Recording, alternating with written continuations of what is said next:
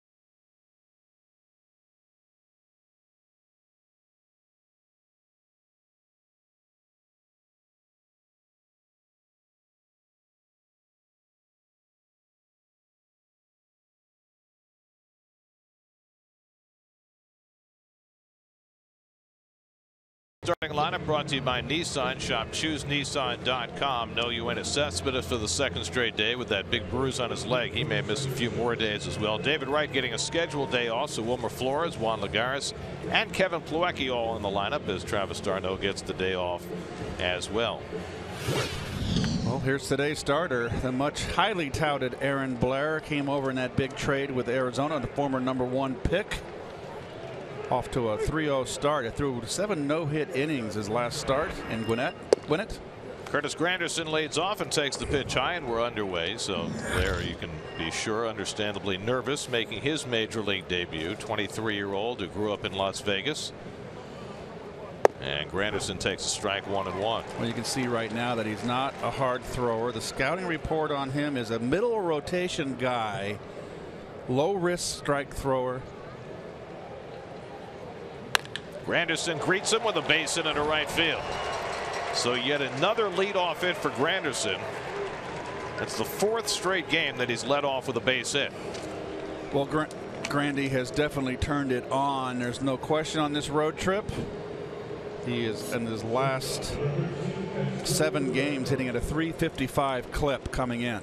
Mets have done a great job of scoring early on this road trip. We've talked a lot about the home runs. What they've also done is score in the first inning in six of the eight games.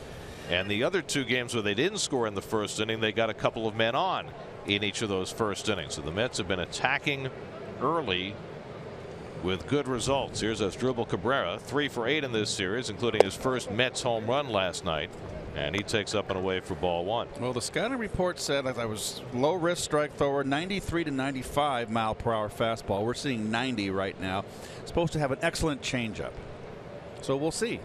Well, he's going to have to establish that fastball to get to the changeup. Granderson at first and nobody out.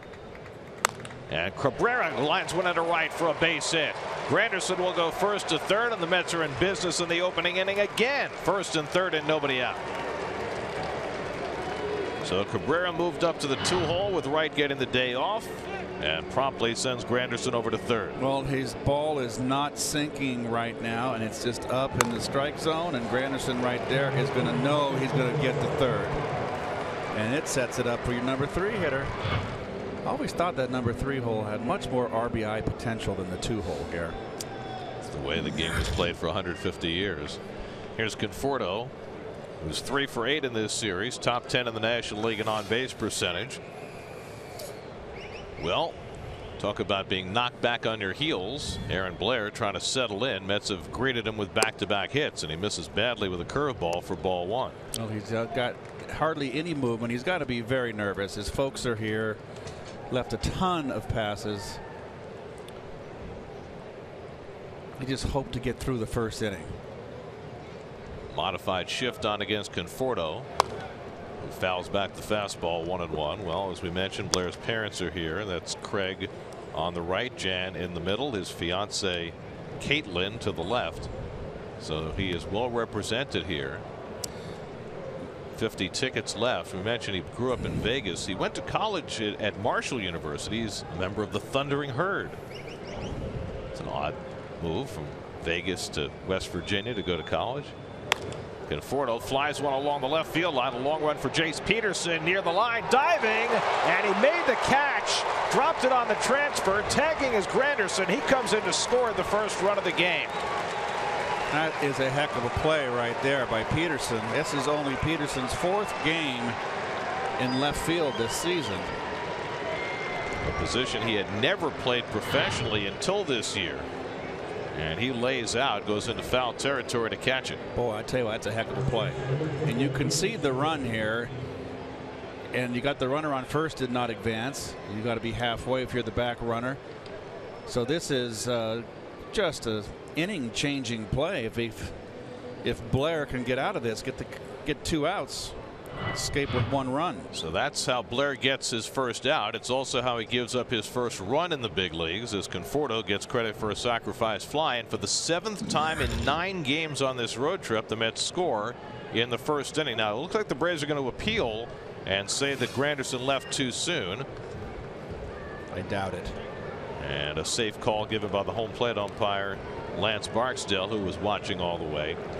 On that play because the ball was hit down the left field line the third base umpire goes out to watch the fielder and the home plate umpire's responsibility is watching to see if the runner leaves too soon. It's almost like relay plays. You can see Granderson has no reason to leave early with the outfielder uh, laying out like that. And the ruling on that drop was that he dropped it on the transfer. John Tumpane, the third base umpire, was right on top of that. So a lot going on there. That would have been a foul ball if ruled dropped. Mm -hmm. So here's Duda, and he takes well outside as Blair is all over the place in this first inning, as you can readily expect. Blair threw seven hitless innings in his last AAA start, struck out 10 against Durham on Tuesday, but off to a very diff different beginning in his first big league start today. Just 23 years old, first round pick by Arizona back in 2013. Duda pops one foul, and it's one and one. Well, the uh, the Braves got a real haul when they traded Shelby Miller to Arizona, and you know, by all indications, they got an enormous amount back. They got the top two prospects in the Arizona system. Dansby Swanson, who was the number one pick in the draft, a shortstop from last year, the number one prospect, and Blair, the number two prospect. Good changeup. There's the one they were talking about. Blair, one and two. Blair was also a first round pick in 2013, 36th all overall. And they also got Ender Inciarte in that deal. He had a tremendous year for Arizona last year, and he's hurt right now with a hamstring injury, but he'll be the everyday center fielder for the Braves when he gets back. One two to Duda and it's low and in. It looked like a lopsided deal in favor of the Braves even before Shelby Miller who went the other way in that deal got off to a horrific start for the Diamondbacks. Oh, Miller got pulled in his last start after walking four batters in a row in the third inning. And they were talking about maybe skipping him a start. Duda flares one foul. We'll take a look at the defense. It's brought to you by your Tri Honda dealers. That would be your Bravo defense. We just talked about Jace Peterson. A little more speed than Kelly Johnson. He's his fourth start in left field. Daniel Castro at shortstop. Only his second start at shortstop. But know what that tells you? This is a team in rebuild. Mm -hmm. Well, it is interesting they play Peterson in the outfield and Johnson at second since Kelly has much more experience in the outfield and Peterson has been a second baseman. Well, the thought was that Peterson was faster, covered more ground, and it came up uh, spades right there and that diving catch. Yeah, Kelly Johnson probably doesn't get to that ball. Three and two now to Duda with Neil Walker waiting on deck. Lucas one for eight in this series. See if Cabrera runs here with three and two and one out Asdrubal goes and Duda strikes out on the changeup and Cabrera is tagged out on the strike him out throw him out double play. So Aaron Blair picks up his first major league strikeout. The Braves turn it into two and the Mets settle for one in the opening inning. Well, he certainly has a good changeup. Seen that early in this game. Good throw by Pierzynski and Cabrera dead duck at second base. Jacob DeGrom takes the mound with a 1 0 lead when we come back.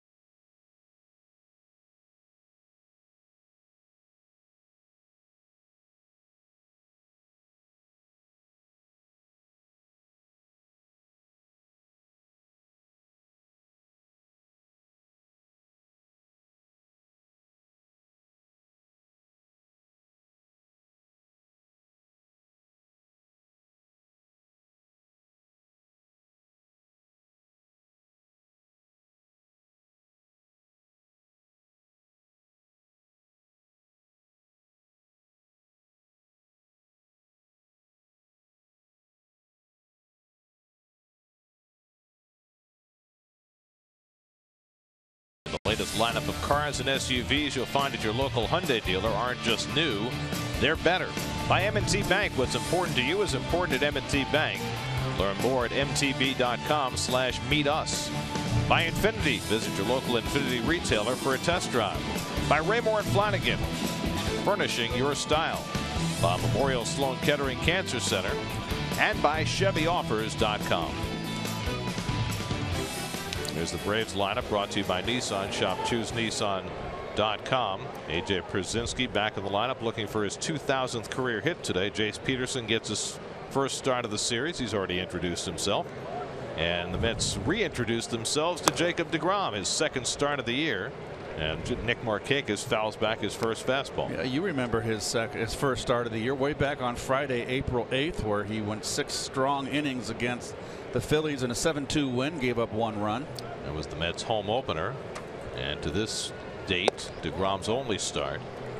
And he threw just 76 pitches in that game. He left with a little tightness in his lat. The Mets skipped him a start. Then his son Jackson was born. He went home and then Jackson had some trouble breathing. That's all been resolved now. And Jake finally back to work. Conforto comes in to catch Markakis' fly ball one away. Interesting between innings Fredi Gonzalez called the crew chief Greg Gibson over and he was hot under the collar about something. Not sure exactly what was concerning him. I haven't the slightest clue.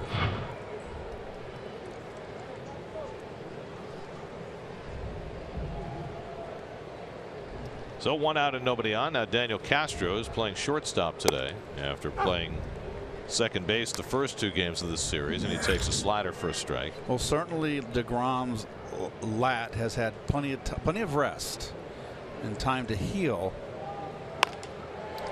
Into right field a base hit for Castro who swung the bat very well in this series. That's his fourth hit in nine at bats and it gives the Braves a one out base run. And a look at the Mets defense and it's brought to you by your local Hyundai Try Honda dealers. Couple guys in. Flores gets a start at third base, and boy, does he need some at bats. One hit on the season for for Wilmer. Plawecki, of course, has done a good job spotting for d'Arnaud. So a one out hit for Castro and now DeGrom will take on Freddie Freeman who broke out with a couple of hits last night. He got two hits both on 0-2 pitches a double to right that drove in a run and a soft single to left both of those against Steven Matz. Freeman needed something good to happen. He's still struggling down at 190 for the year. He's just not getting the barrel through. Lifts this one to left pretty well hit. Conforto though should have plenty of room. And that's the second out and back to first goes Castro. This is a big ballpark, folks. Uh, one of the in today's park, so many small bandboxes. Turner Field is one of the bigger ones. This is beyond fair. This is a pitcher's park. 380 in left center field, 390 in right center field. It's a big park. Well, when they built this park, the Braves had the best pitching in the world, and they built it to suit their staff. I mean, 390. It was pretty much the Astrodome was 396 in the gaps. Here's Adonis Garcia, the third baseman and cleanup hitter. He's had a good series, going four for nine. This is not going to be a long day for Jacob DeGrom. He threw 70 some pitches in a simulated game earlier this week. The Mets will probably cap him at about 85 today. So they'll need some bullpen. Key is for him to be efficient early in the game to be able to get himself through five or six innings. Well, he's got to be tickled to death to be out there on the mound. He's got to be like a horse that's been in the barn way too long wants to get out and gallop. And he's got a, a new viewer. His yes. son Jackson, he told his wife, make sure he's awake. I want him to watch me pitch. So, hi, Jackson. Oh, it, it, Glad you could tune in. You guys went to replay. Off the glove of DeGrom and into center field. A base hit for Garcia. And so the Braves have two men on in the opening inning. And Garcia continues to pile up base hits in this series, now 5 for 10. Ole by the umpire. Up, his pitches have been up early, Gary. He's been a little rusty. You can expect that from DeGrom. More than a little rusty. So now AJ Pierzynski, who's on the cusp of, of a little personal history. He had three hits on Friday night to get him to 1,999. There have only been nine catchers in history who have reached the 2,000 hit plateau, and Pierzynski trying to become the 10th. And he fouls off the curveball for strike one. Well, he's going to get it. I mean, nice little medal on his uh, uniform. Yeah, nice cap to what has been a long career for Pierzynski. He was the oldest catcher in the game now at 39. And had a tremendous year for the Braves last year, hitting 300. Rom misses one and one. Kelly Johnson waiting on deck. DeGrom trying to pitch out of a first inning circumstance after the Mets handed him a run at the top of the inning. And Pierzynski goes after the curveball. One and two. I think this was a change, gear out in front. And a good one. Bright sunny day in Atlanta. Temperature right around 75 degrees. Nice crowd gathered for the final game of this series. One two coming. Punched in the air. Back goes Cabrera. He's got it. And that retires the side. So DeGrom gives up a couple of hits. Gets Pierzynski out to keep the lead 1 0 after one.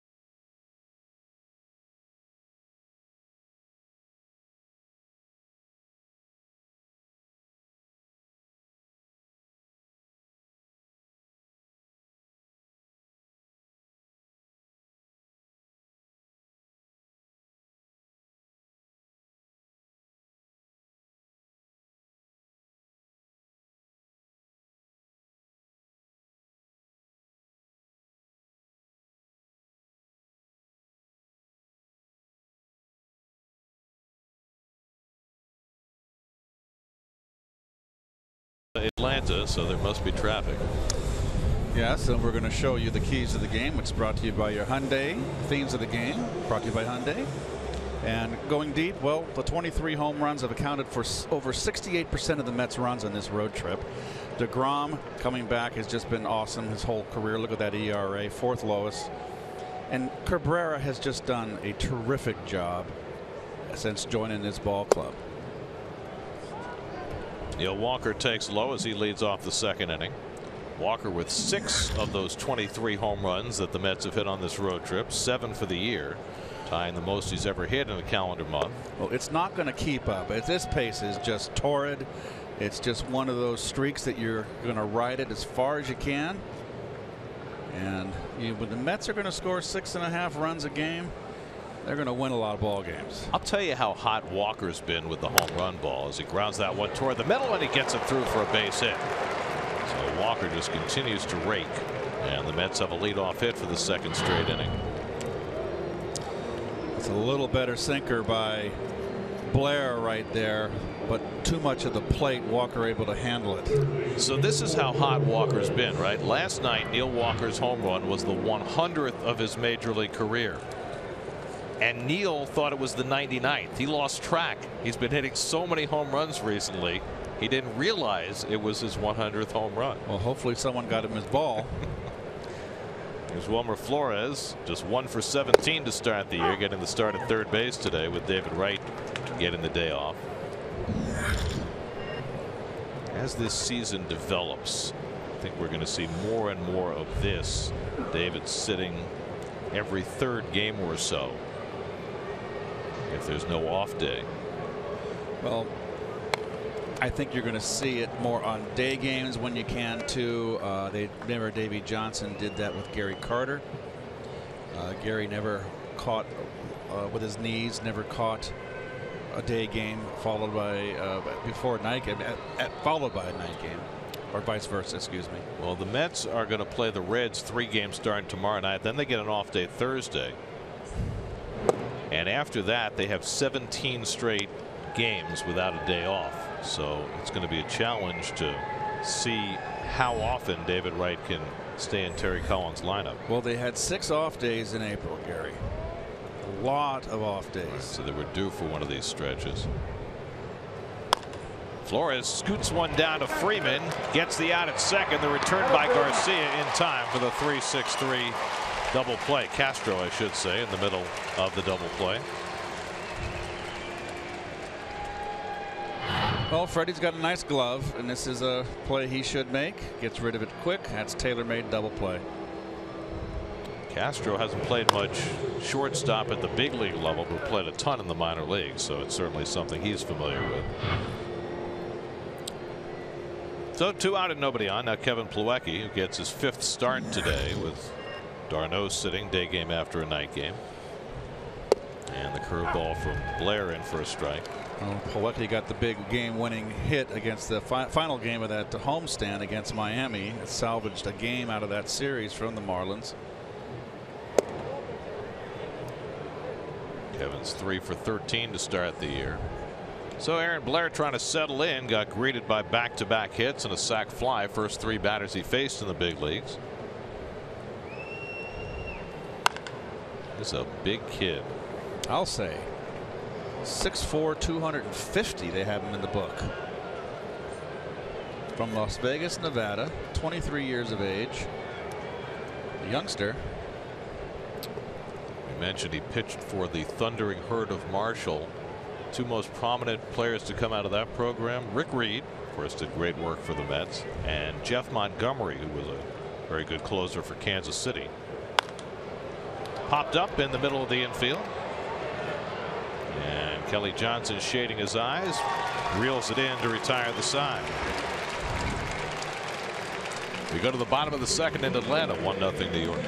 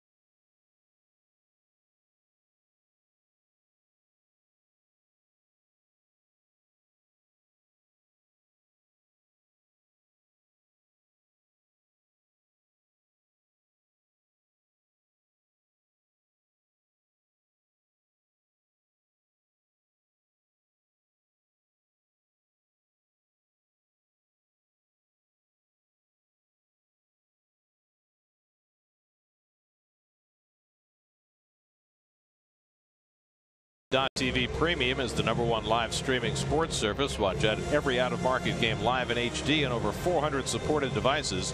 MLB.tv Premium includes a free subscription to At Bat Premium, the number one app for live baseball. Blackout and other restrictions apply. Visit MLB.tv for details. Jacob DeGrom worked around a couple of hits in the first inning. Now takes a 1 0 lead into the bottom of the second to face former teammate Kelly Johnson. Kelly one for four in this series and he takes up and away for ball one. Johnson just five for 33 to start the season. His third go round with the Braves who originally drafted him. That's got him from the Braves last summer and he re-signed with Atlanta after the year. In fact the Braves have five players on their roster who left went to another team and then came back. One and two to Kelly.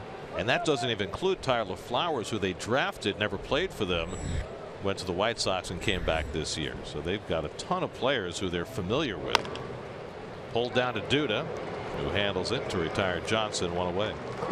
Let's go inside baseball with Steve Gelbs. Steve.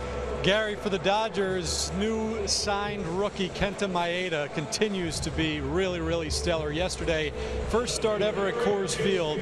He went into the sixth inning with a no hitter, would be the first person to do that since Kevin Millwood did it back in 2012. Ended up with six and a third, no run ball, eight strikeouts yet again. He's now the first pitcher since at least 1930 whose first four major league starts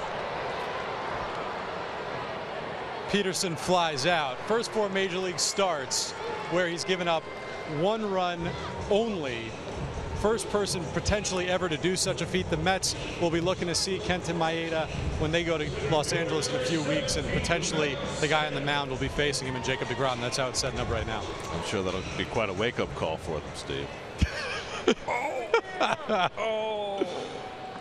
Maeda's got a very interesting contract. The Dodgers signed him to an eight-year deal for about $25 million, but he's got so many incentives in the deal that that 25 million can get up to 100 million if he pitches effectively. It is just incredible the amount of uh, moolah being thrown around. But oh it's but, but, it's really a, a unique contract yes. because you know most contracts in the big leagues are not paper for, for performance, but his very clearly is. Mallex Smith hitting eighth in the order. One for four in this series. Well, in a year the Dodgers have had some injuries to starting pitchers. Maeda has been a, a godsend for them and has helped them get off to an 11 and 7 start. DeGrom falls behind the speedy Mallex Smith 3 and 1 with the pitcher Blair on deck. Jacobs fastball sitting around 92 which is where it was in his first start against the Phillies down from last year when he averaged 95 on his fastball. Mallex Smith drives one out to right field. Granderson back and he reels it in at the edge of the warning track. Mallex Smith hitting it about as far as he's hit one in the major leagues. But the ballpark and Granderson equal to it. One, two, three for DeGrom. One nothing Mets after two.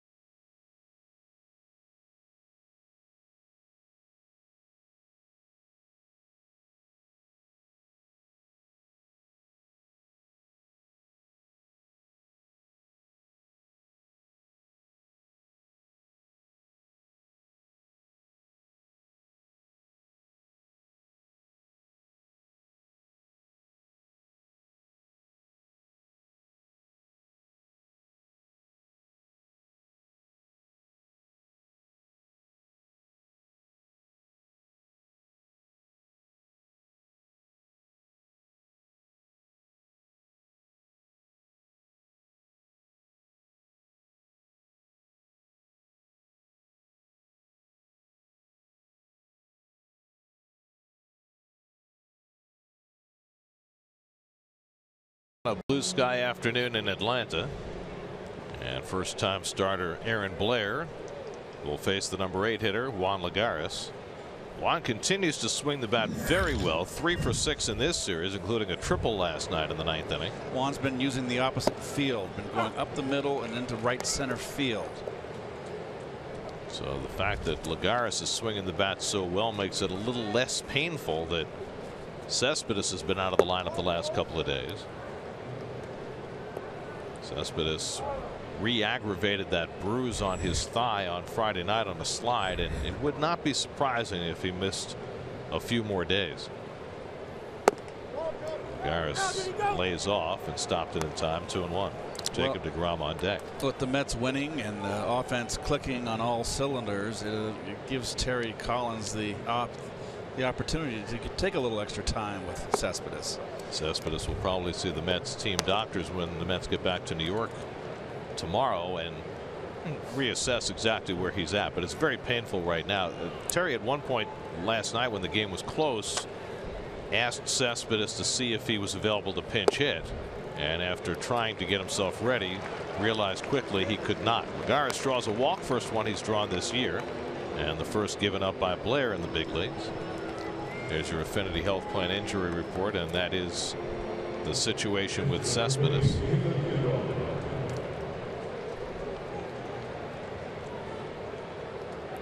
Well, it has been a amazing road trip for the Metsies.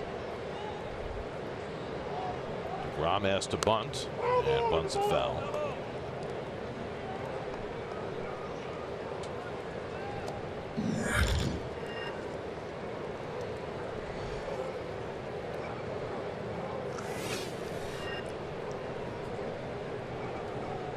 DeGrom, an excellent hitter. Another starter that can swing the bat and also a really good bunter. Watch how low he gets when he squares up here. Bends at the knees, bat level out in front. Very important to have the bat out in front. So what's the um, what's the advantage of bending your knees that deep? Well, you're in a position now you can bend if the pitch uh, uh, uh, sinks. You can bend your knees with it and keep your bat level. And he gets the butt down. Blair will have to go to first with it. Nicely done by DeGrom. 1-4 on the sacrifice, and Lagares now at second.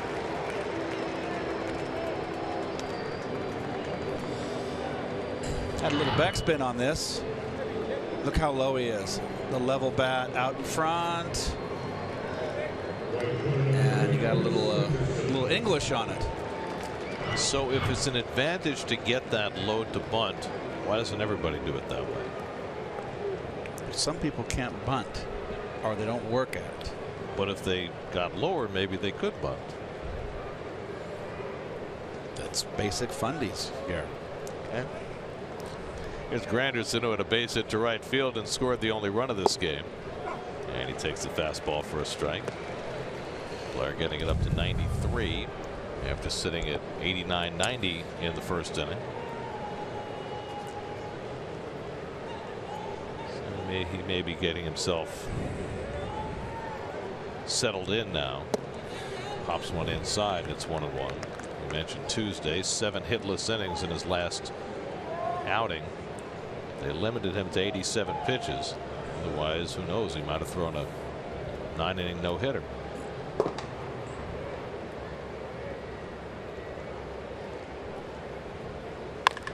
Granderson pops one up. In comes Markakis. Now that's the second out.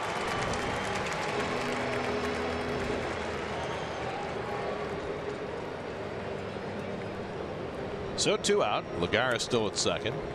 And now is Asdrubal Cabrera coming up. Cabrera singled to right field his first time up. And Cabrera is a perfect hitter. He's a switch hitter. Better left hand hitter, more pop from the left side, but a threat from the right side. He's a perfect guy that you can hit seventh in your order, which Terry normally does, but you can also put him up on the two hole.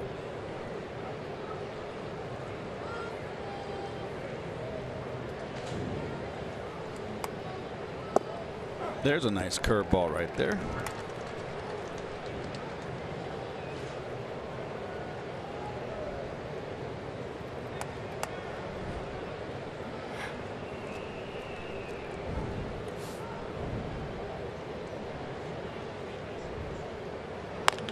Another curveball grounded out to Johnson at second. And that retires the side. So Blair gets around a leadoff walk. And that sends us to the bottom of the third with the Mets still up 1 0.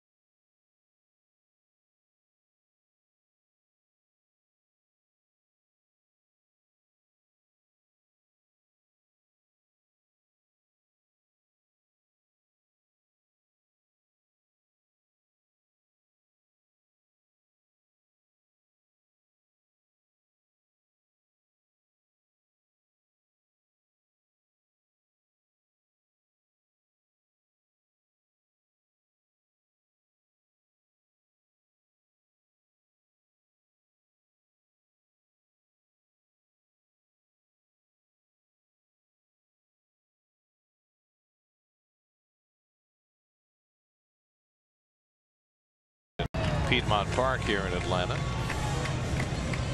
You know, it's the largest park in in the city here. It's not quite Central Park, but it's you know, it's nice. Aaron Blair's first big league plate appearance. He was four for 40 in his minor league career with one home run. That he hit in Double A two years ago, and his folks looking on as he takes a strike from Degrom, and it's 0 2.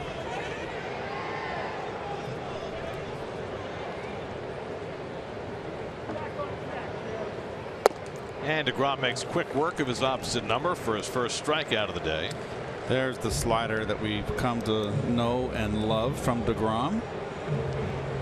He was a little rusty. He snapped that one off nice.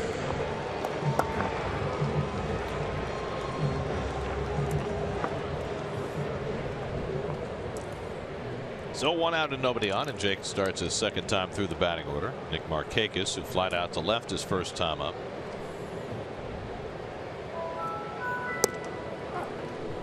Jake was down in Florida and tending to uh, his wife and his baby. The baby was in the hospital in Daytona Beach, and he would take the the two-hour drive down to Port St. Lucie to uh, to throw his bullpen sessions, his simulated games.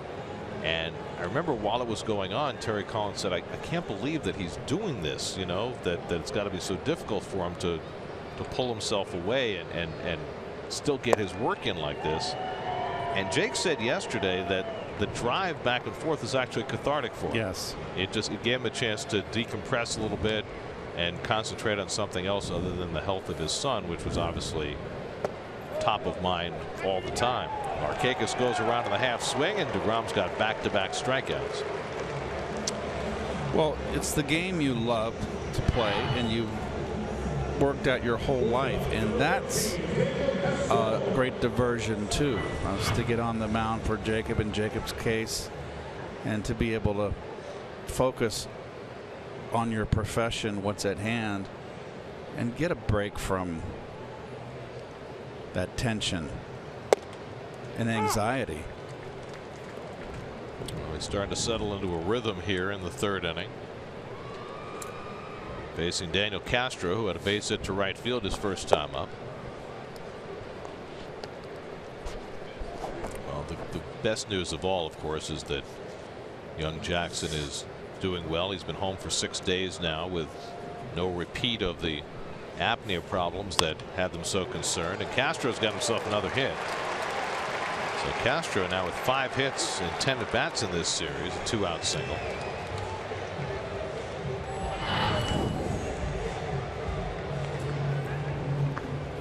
Fastball down the pipe. A lot of singles for the Braves.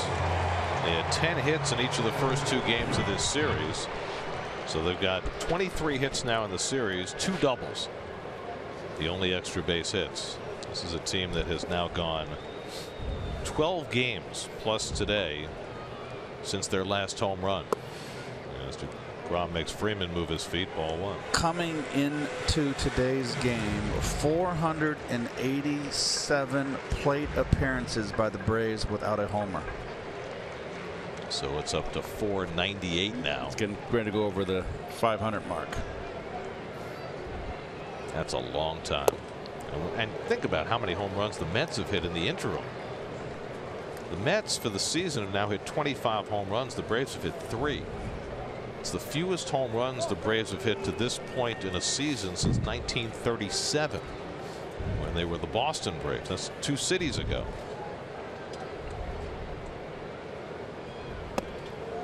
Again, DeGrom comes inside to Freeman, two and one. Fastball sitting right at 92 for Jacob. He says he's not concerned about that, and it's been the case really since the beginning of spring training that his velocity has been down. Certainly didn't affect him in his first start of the year against the Phillies. Back to DeGrom, who fields his position extremely well, and he throws out Freeman to end the inning. So a hit and one left, and DeGrom is through three. The Mets have a 1 0 lead.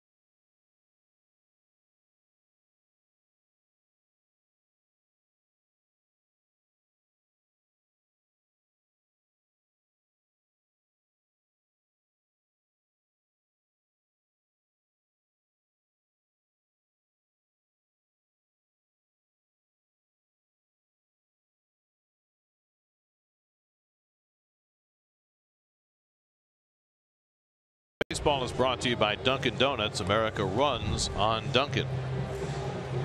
The more strikeouts the Mets record, the more you save. Every strikeout thrown by a Mets pitcher against the Phillies and Braves saves you 1% off select tickets to the upcoming homestand April 25th through May 4th. So far, including today, the Mets have recorded 54 strikeouts, meaning fans will receive at least a 54% discount. Wow. For more information, visit Mets.com slash strikeouts.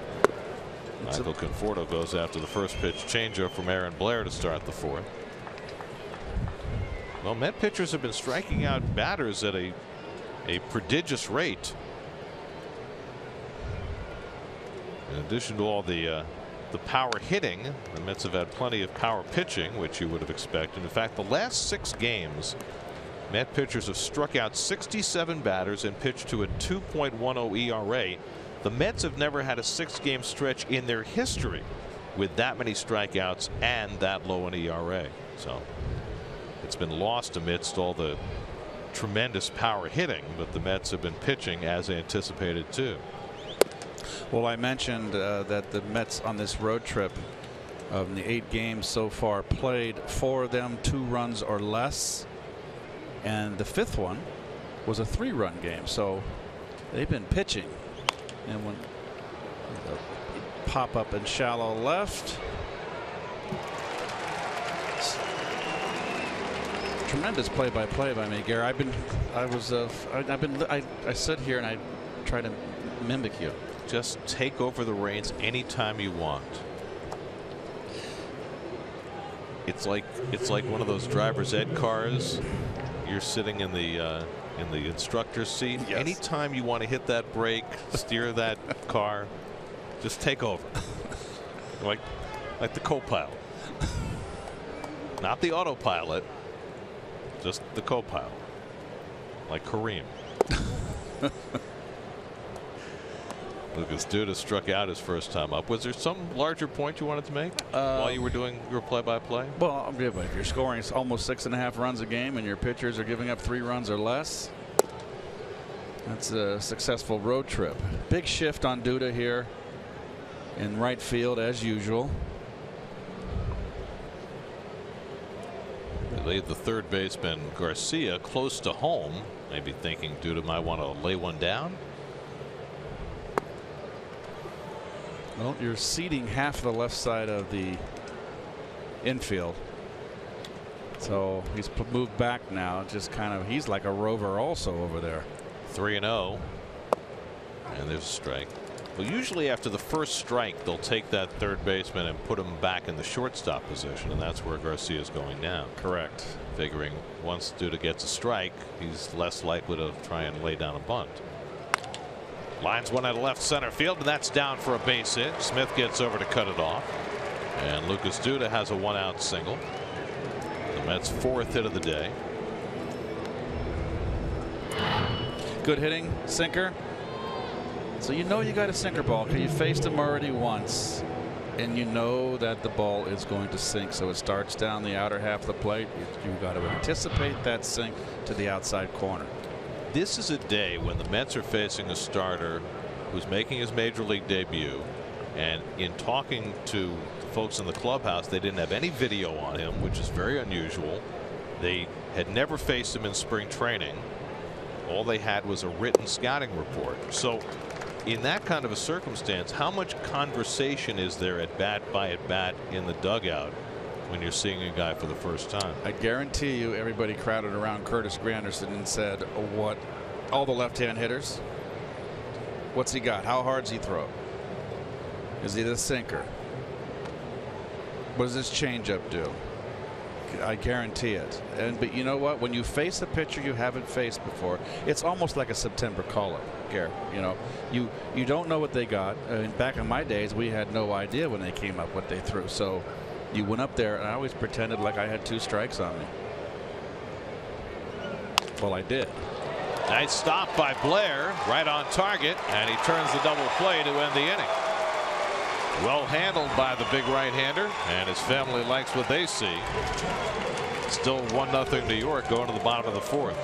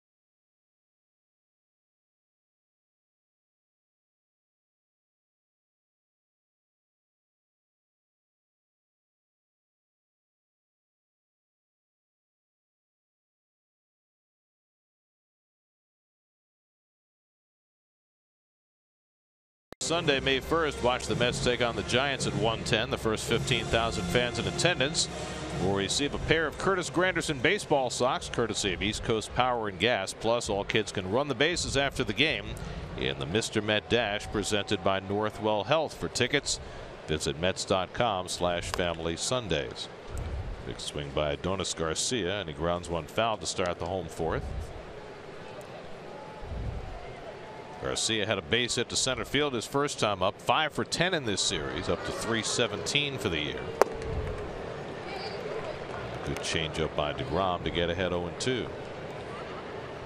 Jacobs struck out his first two batters in the last inning. He's given up three singles, no walks. Up the middle, and Garcia's got another hit. An 0-2 curveball from DeGrom, and Garcia's two for two.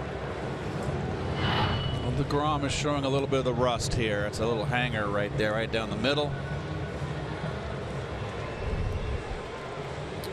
So the first time the Braves have had their leadoff hitter on today. And now A.J. Pierzynski, who popped up to short his first time up.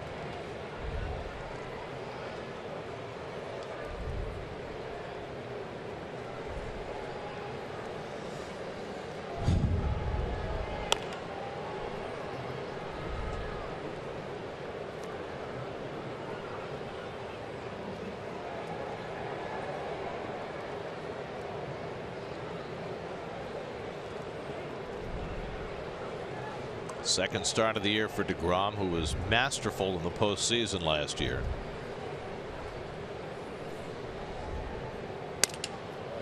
Nub to shortstop might be two. Cabrera takes it to the bag and turns it over. 6-6-3 double play. Knew who he had running, knew he had time with Pierzynski going down the line, and made the play easily. Well, DeGrom comes inside and jams Pierzynski. And again, the very steady glove of Cabrera did nothing but impress me with his defensive skills out there. So just like that, two out and nobody on. Now Kelly Johnson, who grounded out his first time up. Talking about DeGrom in the postseason last year, he was probably never better than he was in game one against the Dodgers and probably was never grittier than he was in game five of that series when he just didn't Yep. seem to have anything looked like he was going to be out of the game in the first inning and was able to muddle his way through. But it was no surprise to us because we've seen him, you know, go out there and struggle in some of his starts. Johnson shoots one toward the middle. Walker on the backhand. The jump toss on target. Side retired. Mets middle infielders looking sharp as usual. Those two guys have done a terrific job. Walker and Cabrera. Walker making that one look easy. Still 1 nothing Mets.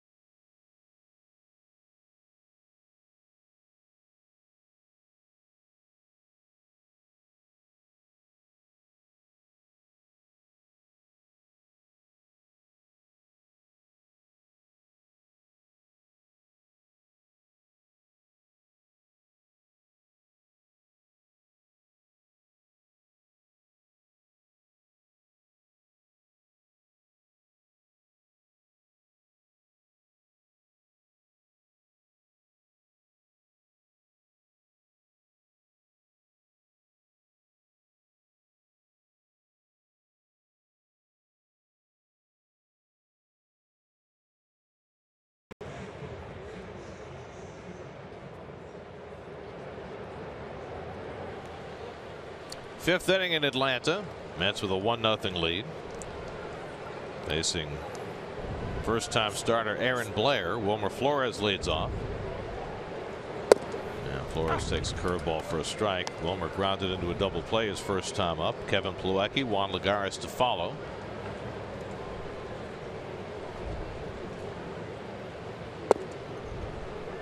Blair gave up a run in the first inning, but has settled in nicely since then. Gotten a couple of double play balls, including one he started himself.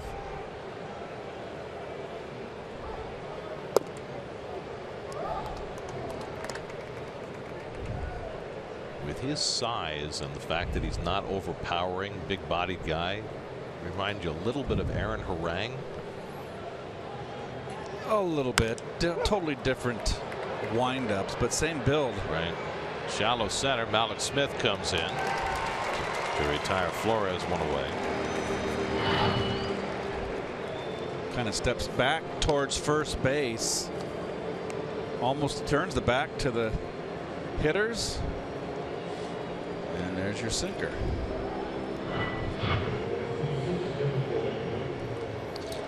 Well, there's the Braves pitching coach Roger McDowell, who has worked with some uh, outstanding pitchers here in Atlanta and had a lot of success. But now with the Braves going back to the drawing board to try and retool this franchise, now he gets to work with young pitchers and Blair, one of the first to arrive. That's smacked in the air to left field off the bat of Plawecki. And Peterson is there to grab it two out. And of course, they've got a tradition of pretty good pitchers here in Atlanta. Three Hall of Famers who work together on the same staff. Messrs. Smoltz, Glavine, and Maddux, left to right. Two of the three brought over via the trades. John Schuerholz, of course. Well, they got Smoltz in the deal for Doyle Alexander. With, from Detroit. Maddux was a free agent, and Glavine they drafted. Maddux, of course, what started with the Cubs. Well, Maddux won 355. Glavine 305 won his 300th as a Met. Don't forget. And Smoltz did it both as a starter and as a reliever. Well, and don't forget, Smoltz went to the bullpen, and he might have had 300 wins if he didn't go to the bullpen. Easily. so that says it all. They were all such models of consistency. Maddux and Glavine were able to stay healthy their entire career. Smoltz not so fortunate. He had all sorts of elbow problems that he had to work around. Remember when he started throwing a knuckleball because his arm hurt so much? I forgot that. He was very inventive. And well, I faced all three when they came up, and the most impressive one, and the, uh, the least amount I faced, was John Smoltz. He got my attention. Well, he had the best stuff of the three. Yes. I think you'd have to say that. Yep, he was power stuff. Uh, he threw me a breaking ball, the first breaking ball I saw off of him, and it went. It was a hard one, a lot of velocity, a lot of spin, sharp breakdown, and it was in the dirt. And I said, "Oh, okay. If this kid ever gets it over with his fastball, he's going to be a good one." Came up to the Braves in the '88 season.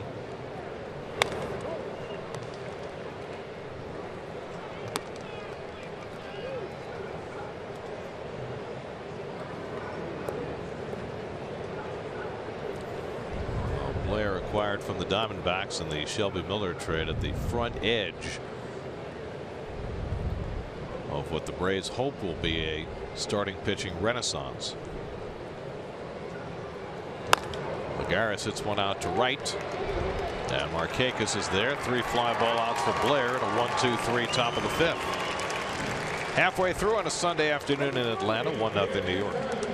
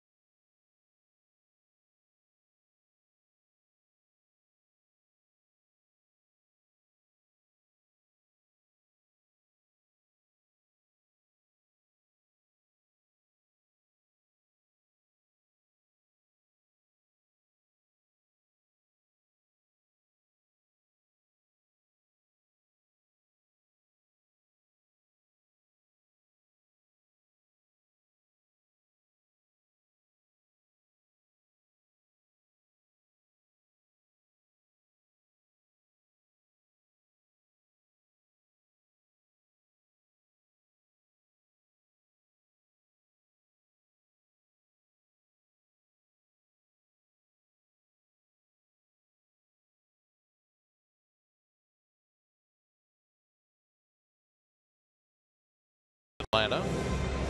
Jacob DeGrom and the Mets with a 1 0 lead. On a beautiful day here in Atlanta. Slight breeze, the flag blowing out to right field. As you see over the center field scoreboard, just a glorious day. Well, it's been a nice return to action for Jacob DeGrom so far. We mentioned at the outset that the Mets were hoping to hold him to 85 pitches, and we were wondering how far he might get. Well, just 45 pitches through the first four innings, and facing the lower third of the order in the fifth, as Jace Peterson leads off. So, if he can hold his form, he might be able to get through six with no problem. Ball and a strike to Peterson, who flied to center his first time up. You know, the 47 pitches, 35 strikes. But still, he's a little rusty.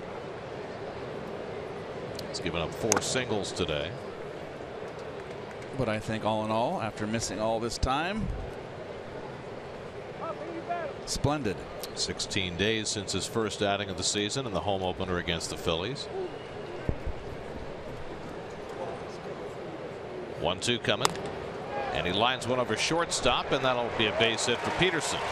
So there's the fifth single of the afternoon for the Braves. Well that's what the Braves uh, are good at. Not a lot of extra base hits. Good pitch. That's a backdoor breaking ball. Nice hitting by Peterson. Remember last year early in the season how good Peterson was? Got off to a great start playing second base most days for the Braves and then really tailed off the second half and now a part-time player. Here's Mallex Smith hitting eighth in the order. Smith had one deep to right field that Granderson had to go back and grab. So always watch out for the bunt with Smith up even with a pitcher on deck. Well he had a terrific year last year in the minor leagues. Uh, split the time in Double A and Triple A. Hit 340 in Triple A. Stole a lot of bases. He's a youngster. He, I think he's a little swamped. And you know what? I we talked about this. When you've got a team that's not hitting, and you're a young kid, it has more of a negative effect on the youngster than it does the veteran, for obvious reasons.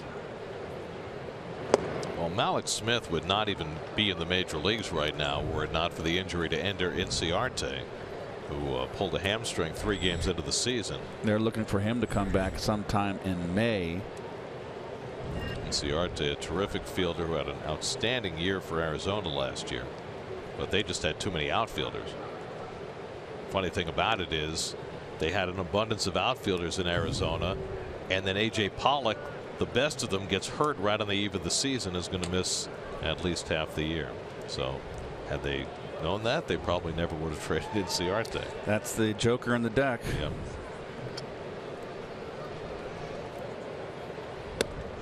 One and two to Smith. Here's your Chevy high speed pitch. DeGrom is topped out at 94 miles an hour. Aaron Blair at 93. Blair will bat next.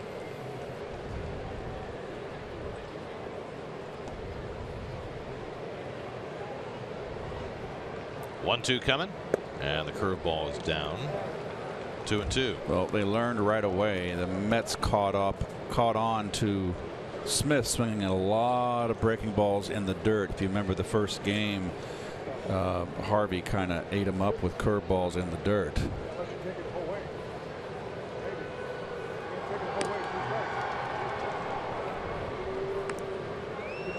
I'm sorry it wasn't Harvey it was Bastardo as well as Reed has struck him out with breaking stuff in the dirt. 2 2 to Mallex Smith and he lifts this one to left and Conforto easing back. Back to first base goes Peterson one away. The road ahead brought to you by Ford. Mets return home after the game today to begin a nine game homestand. Three with the Reds starting tomorrow night. Then after an off day the Giants are in for the weekend and then the Mets see the Braves again for the following three. Then the Mets have an 11 game road trip to the West Coast in Colorado. They go to San Diego for four, LA for four, and Colorado for three. A lot of longer road trips on the Mets schedule this year. Finishing off a nine game road trip today. Never minded those long road trips. You'd rather if you're going to go out west, you want to bang out three cities. Get it, get it done. You get used to the time. It's a more difficult traveling back home. It's always easier to go out and play that first game on the West Coast traveling west. But coming back, boy, it, it, takes a 48 hours for you to get your body back in sync when you've been on west when you've been on the West Coast time, like the old days when uh, we only had the, the, the, two divisions and you do San Francisco, San Diego, and Los Angeles. Well, I agree. I, I remember couple of years ago the Mets played interleague against the American League West, and they made five separate trips yep. out west, and that was just a killer. It is. Uh, rather do that in fewer trips.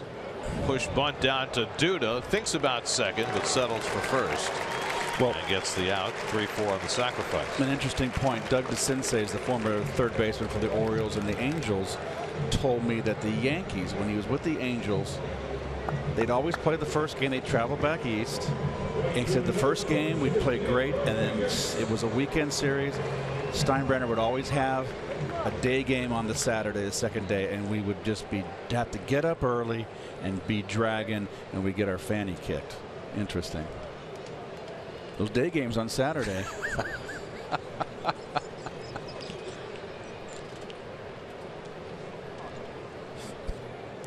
Here's Nick Markakis, who's flied out and struck out 0 for 2.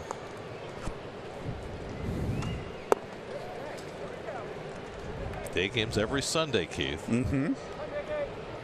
Unless the ESPN comes calling, and uh, then you're off. Well, I'm guilty of that because I was the player rep when that was done with the negotiated with the ownership, um, and that was a big deal. Um, a lot of the players didn't want to have night games, and there was a big discussion about it. And Marvin pretty much said you know, it was just too much money to go into pension right. and uh, all that. So um, that decision was okayed by by the consensus by all of us.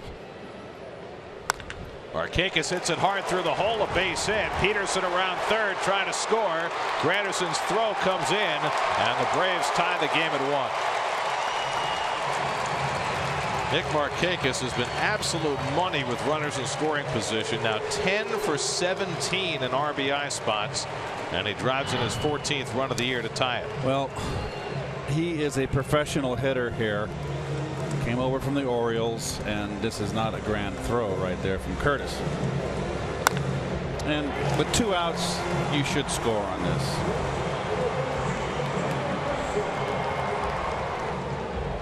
Ball too much of the plate down. Nice hitting.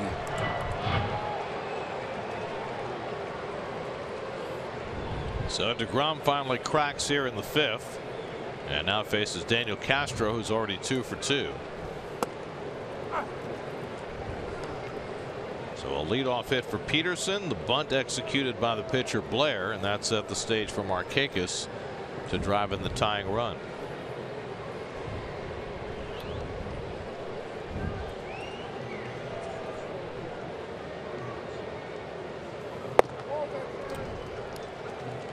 First run of the game for the Braves brought to you by Dunkin' Donuts. America runs on Dunkin'.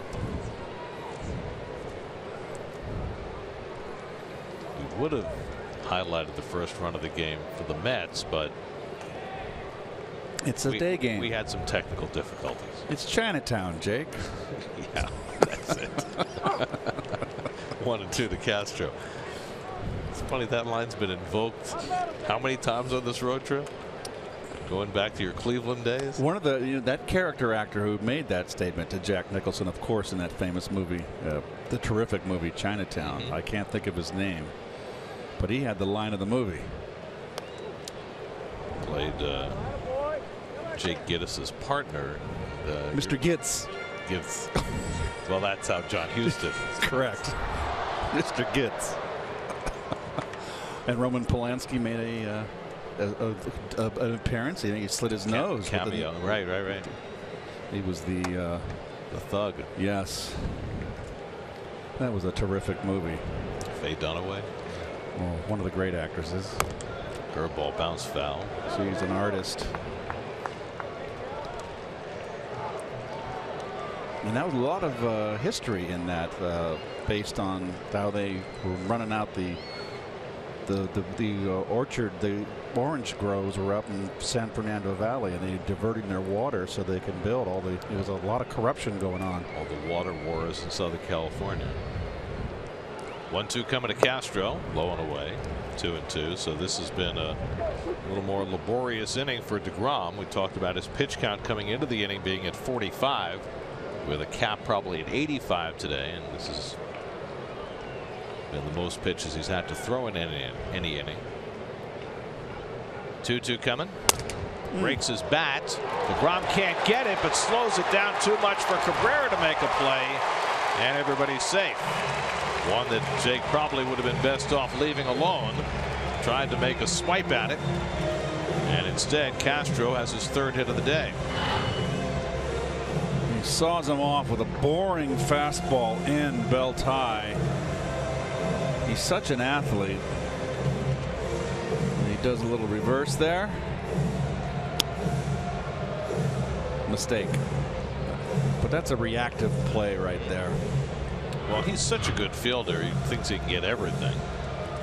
Uh, who has a chance maybe to win a gold glove one of these days with his athletic ability on the mound. But that one cost him. And now he'll have to face Freddie Freeman with two men on. Markakis, who drove in the tying run, now representing the lead run at second. And Castro, who's three for three, is on first. Seven hits now against DeGrom, all singles. And now he'll face Freeman, who's handled so far. Freddie has flied to left and had a comeback, or 0 for 2. He had a better at bat his last at bat, Gary.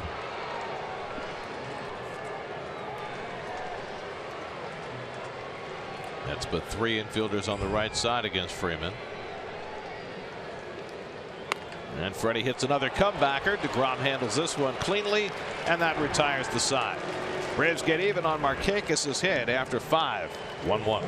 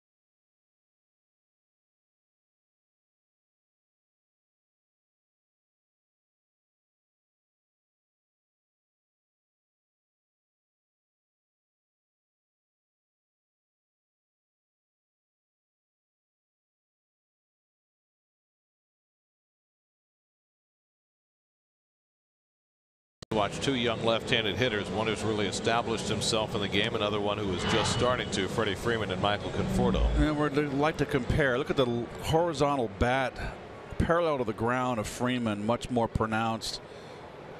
But their hands, watch a little more of a hitch in Freeman, and also Freeman hides his on his take back, brings it into his body a little more. Where Conforto goes straight back. And look at the contact here, pretty much the same, but more tucked. That left elbow of Conforto near the body. So pretty much the same. Both guys eyes on the ball. One hit a ground ball. The other one hit a fly ball. Both were outs. so they're even. and there it is.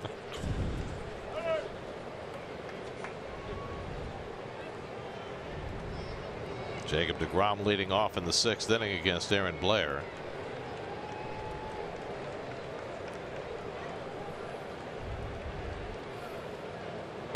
So the Mets had a chance to really get Blair early in that first inning. They had him first and third, nobody out.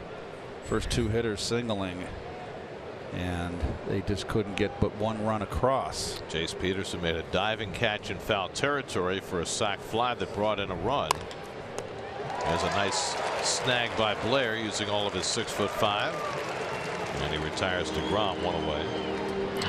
Well, it's the final year at Turner Field, and every day when the game is official, they are tearing down the number of games remaining. And Leo Mazzone, the celebrated former pitching coach of the Braves, well, doing he, the honors today. He had that great pitching staff, and every they had a nice bullpen too. That bullpen was very much overlooked because of that Hall of Fame starting rotation. They had some trouble at times finding guys to close games for them. I mean, they had Alejandro Pena early in their run than Mark Wohlers later on. But bullpen sometimes was an area of concern. And we know that Mark Wohlers never recovered from that hanging slider he threw in the World Series at Yankee Jim Stadium. so. Oh, never recovered from that. Another closer and a big spot that just completely collapsed. I think of Niedenfuer was one Jack Clark's home run. He never recovered from that. Donnie uh, Moore. Ozzie Smith took him deep. Pulled down the line a foul ball. Donnie Moore giving up the. Uh, Donnie Moore, yes. Yeah. The Angels. 86 to the Red Sox. Right. The 95 Braves were the only one in that 14 year run of division titles who were able to go the distance. And they've got the pennants up there to show for but only one World Series flag in 95. Granderson lays off and he stopped in the time three and one. Curtis scored the Mets only run back in the first inning.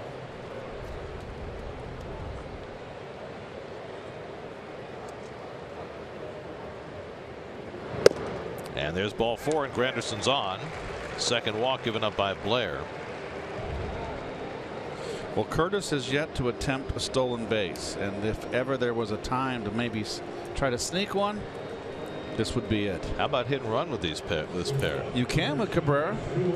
I mean, Terry talks all the time about how we don't really have the guys to steal bases. We don't really have hit and run guys. But if you're going to have a hit and run guy, this would figure to be the one. With Cabrera hitting in the two hole. Normally, you've got David Wright hitting second. You're not going to play hit and run with him. Cabrera 61 at bats this year, only 11 strikeouts. and you've got a rookie pitcher on the mound. You don't really know what his move is like. You don't know if he gets discombobulated if you put people in motion.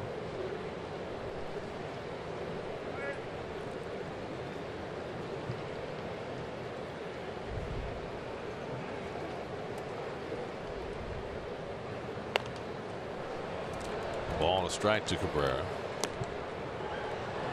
And so far, Aaron Blair has acquitted himself well which shouldn't come as a huge surprise.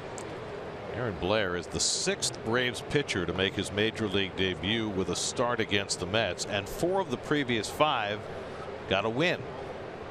Going back to Larry McWilliams in 1978, John Smoltz made his debut against the Mets and won in 88.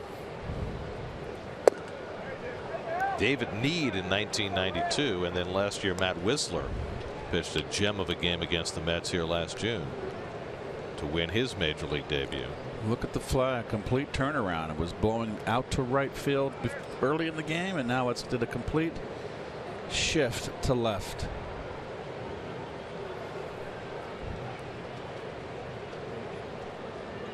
Cabrera pulls one into right field for a base hit.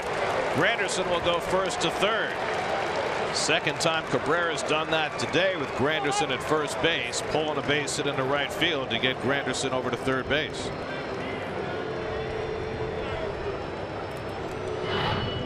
Well, situational hitting. He's two for two in that situation. The first inning did the same thing. And uh, maybe an observation from Terry Collins. Roger McDowell goes out to the mound to talk to Blair. And looks like the Braves bullpen's going to get busy. Alexi Ogando is going to start to throw. There he is. So Blair, who threw 87 pitches in his last minor league start, is at 75 today. And he's got a big out to get with first and third and one out. Michael Conforto coming up.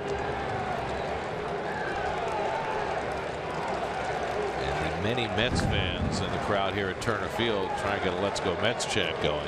Another RBI situation for that three hole set up nicely by Cabrera both times. Conforto drove in the Mets run with a sacrifice fly in the first. Then he flied out in the fourth.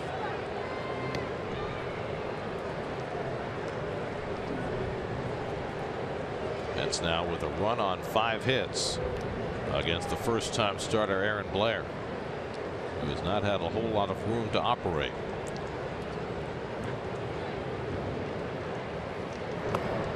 He throws one at the feet of Conforto, ball one. Whenever you're a hitter in this situation, Gary, where you got a close ball game and you can put a hurt on a pitcher, loved to go 1 0 missing with a breaking ball.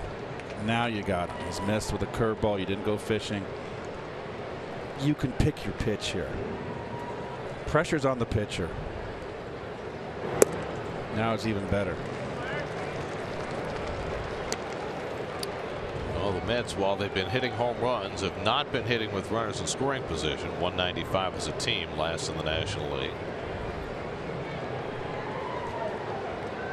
Blair has thrown a first pitch ball to each of the last six hitters. A sign that he's starting to wear out. 2 0 to Conforto. And Michael pulls one foul.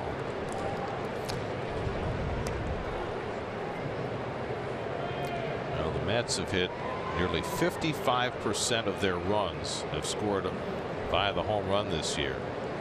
It's the highest percentage in the major leagues.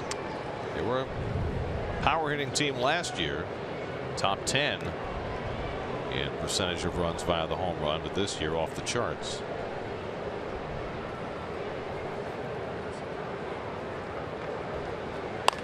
Conforto takes one the other way foul. It's two and two. Well, curveball let him off with down and in ball one, a changeup ball two, 2 and 0 changeup, and then he threw a fastball there. So still even count. I like the hitter's chances. Granderson at third, Cabrera at first with one out. Tie game sixth inning. He wants a changeup. 2 2. And Conforto drills it to right field. Markakis back, and it's over his head. Oh. Hops into the crowd, a ground rule double. Granderson comes in with the lead run. Michael Conforto with his second RBI of the day. And the Mets are up 2 to 1 in the sixth. You're asking a young pitcher to make a changeup in a tight spot, even though that's his second pitch. He's supposed to have a good one. This is not AAA here, right down the middle. Good hitting by Conforto. Stayed back. And it's uh, fortunate for the Braves, even though they're still in trouble here. Well, that's the last pitch Aaron Blair is going to throw today. His family giving a supportive hand as he leaves. He pitched very well today in his big league debut, but he will leave trailing two to one. Call to the bullpen brought to you by Memorial Sloan Kettering Cancer Center. Blair out, Ogando coming in. We'll be right back.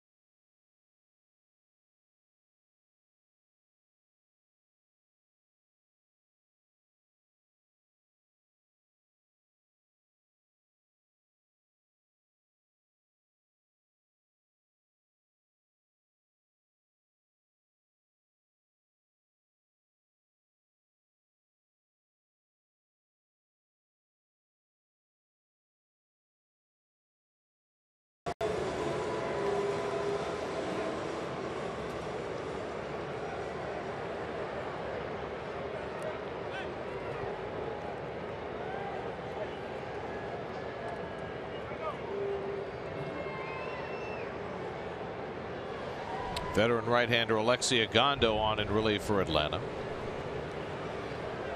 Former All-Star with the Texas Rangers last year in Boston.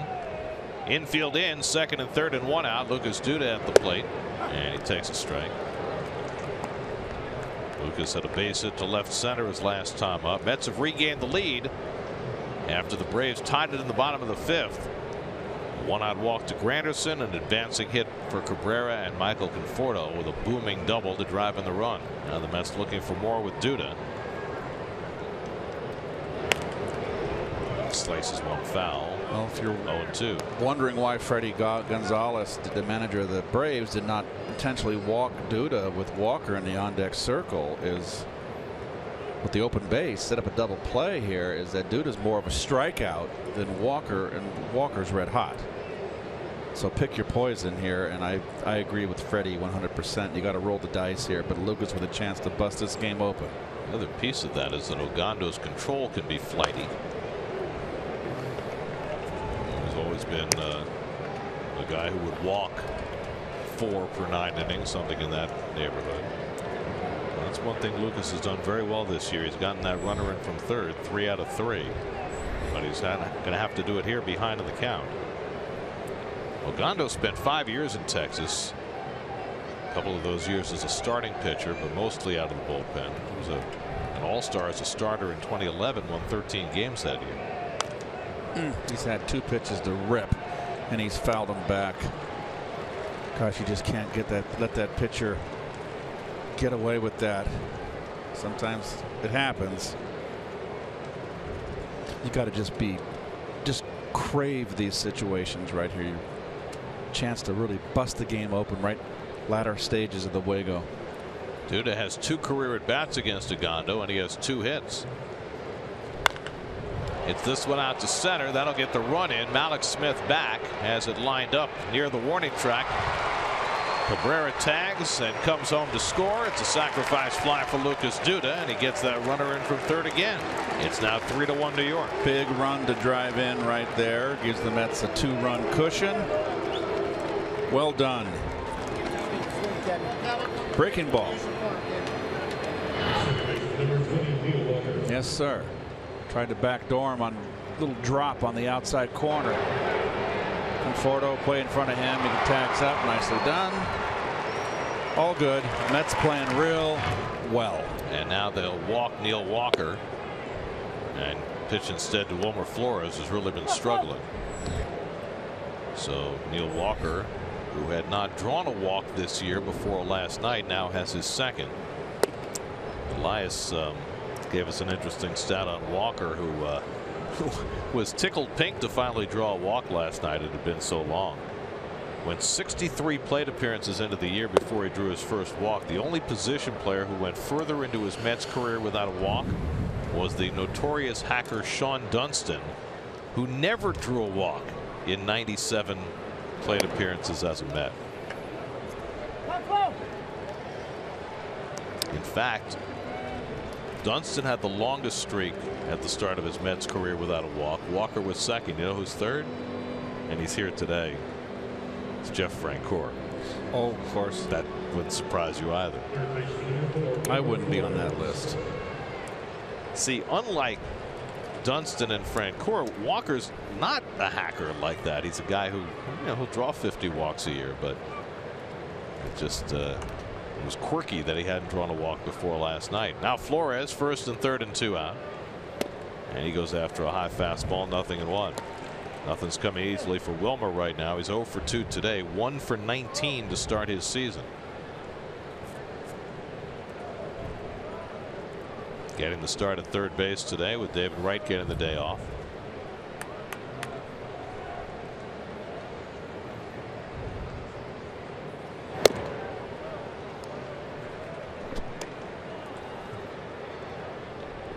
Alexi Ogando now 32 years old. He had the big year in with Texas in 2013. 18 starts that year.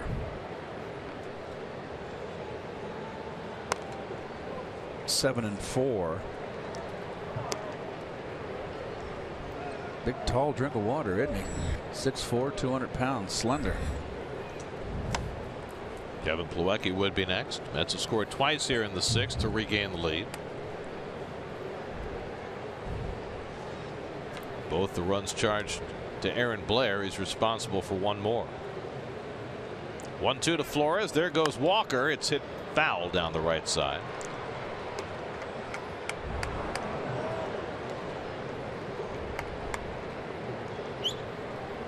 Blair went five and a third, allowed six hits, the three runs so far, walked two, struck out only one after fanning 10 in his last minor league start.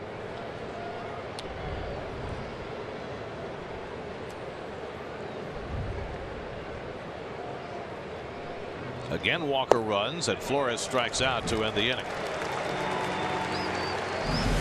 So the side retired, but the Mets played a pair. Conforto and Duda with the RBIs. Three to one New York going to the bottom of the sixth.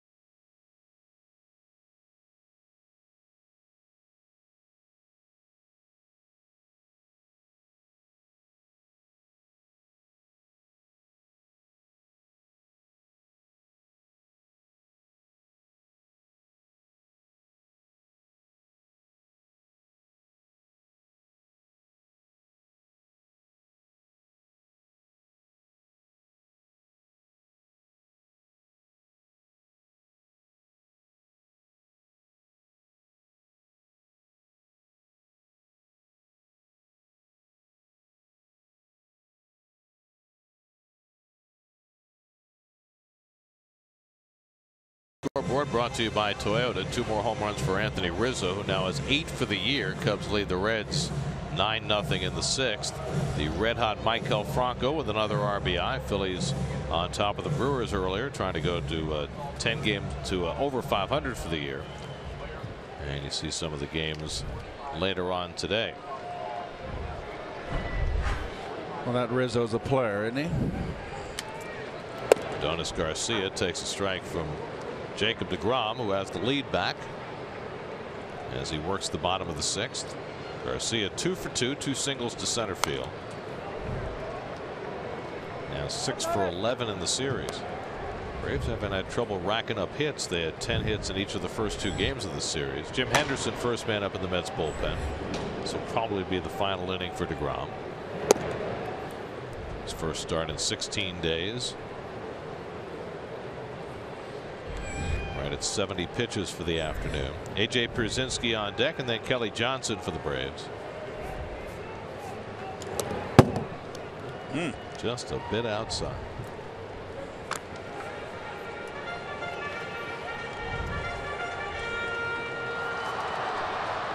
Did we uh, did we forget about the Nationals on our National League scoreboard? That was weird. What is going on there? Plan They're tied 1-1 in the fifth with the Twins. Oh, I guess since they're playing an American League team, it doesn't go on our National League scoreboard. Garcia strikes out. Third strikeout of the day for DeGrom. Well, we'll mention that Matt den Dekker batting leadoff for the Nats today hit a leadoff home run in the first inning. He's found a home there. I'm glad for him. Happy, very happy for him. I liked his swing. He kind of got lost here. Do you think they'll keep him when Ben Revere comes back from the DL? I because they like Michael Taylor and he was getting most of the playing time. It's hard to keep uh, Taylor off the roster. Pierzynski bounces one foul.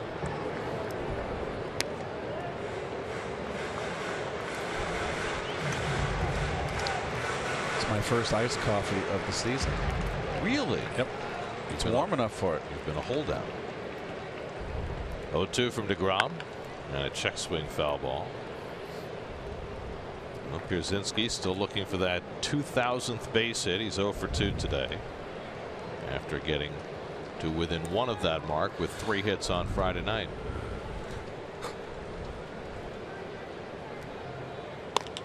And he pulls one just foul. DeGrom has given up seven hits, all singles. Hasn't walked a batter, struck out three.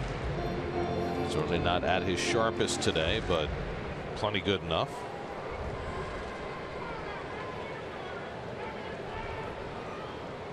Again, the 0 2. And the curveball bounced on the right side. Big hop for Duda. And DeGrom covers two out. So two out and nobody on. Time to check out this date in baseball history. Frank Umont became the first major league umpire to wear glasses in a major league game. 1956. Used to be a taboo. Right. About umpires wearing glasses. It was seen as a sign of weakness. Well, we won't go into the cat calls, but the Super Chicken never used to in San Diego used to bring out the eye chart Yes. to the umpires. that was so hilarious. Well, that was long after Frank Umont. Chicken was popular in the 70s and 80s. Oh my gosh.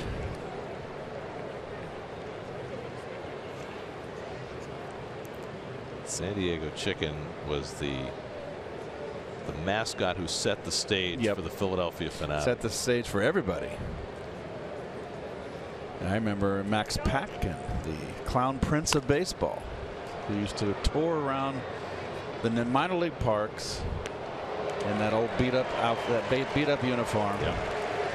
And he'd get behind the first baseman and you'd throw ground balls to the infield and he'd mimic you right behind you. Kelly Johnson flies one down the line foul.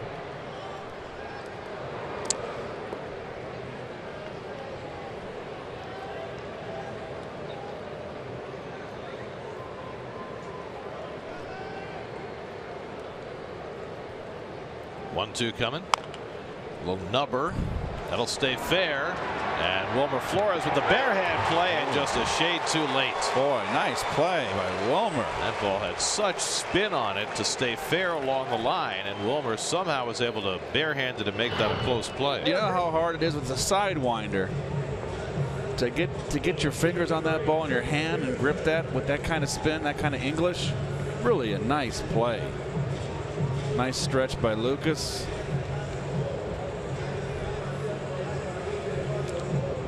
Well, Terry Collins is on his way out to the mound. And he's going to take the temperature of Jacob DeGrom and Took the ball. he's going to take the baseball as well. Job well done by DeGrom. He goes five and two thirds innings, 82 pitches in his first game in 16 days. And he'll hand it off to the bullpen to try and get the final 10 outs. Call to the bullpen brought to you by Memorial Sloan Kettering Cancer Center. We'll be right back to Atlanta.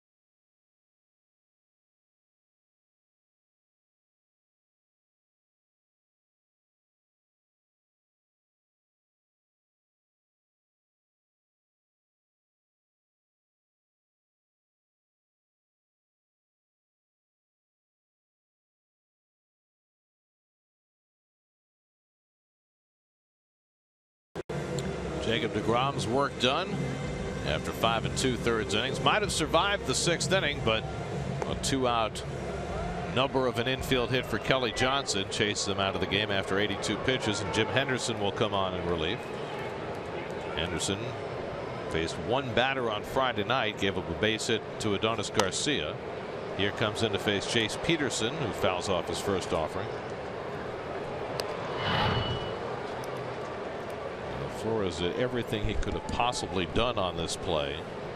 And a very close play at first base, but Johnson able to beat it out. It would have been a beautiful play if he had completed the out. A little slower runner. But nonetheless, well done. Peterson singled and scored the only Atlanta run in the fifth inning against DeGrom. And Henderson misses up and away. Ball and a strike. DeGrom threw 82 pitches over five and two thirds, allowed eight hits. Just the one run so far, no walks, three strikeouts. It's too bad he couldn't finish the inning. I guess he's on a pitch count. Well, they said 85. He threw 82, so he's right at that. Henderson goes upstairs to get ahead on Peterson one and two. And you have to figure next time around DeGrom will probably be able to go a, a full 95 to 100.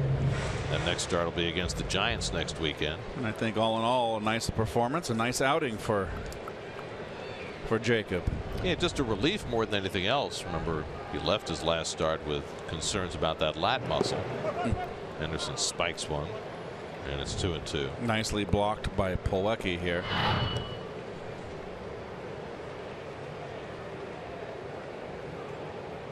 There you go. Got the gray chest protector on. It's like camouflaged back there. Hmm. Blue camouflage.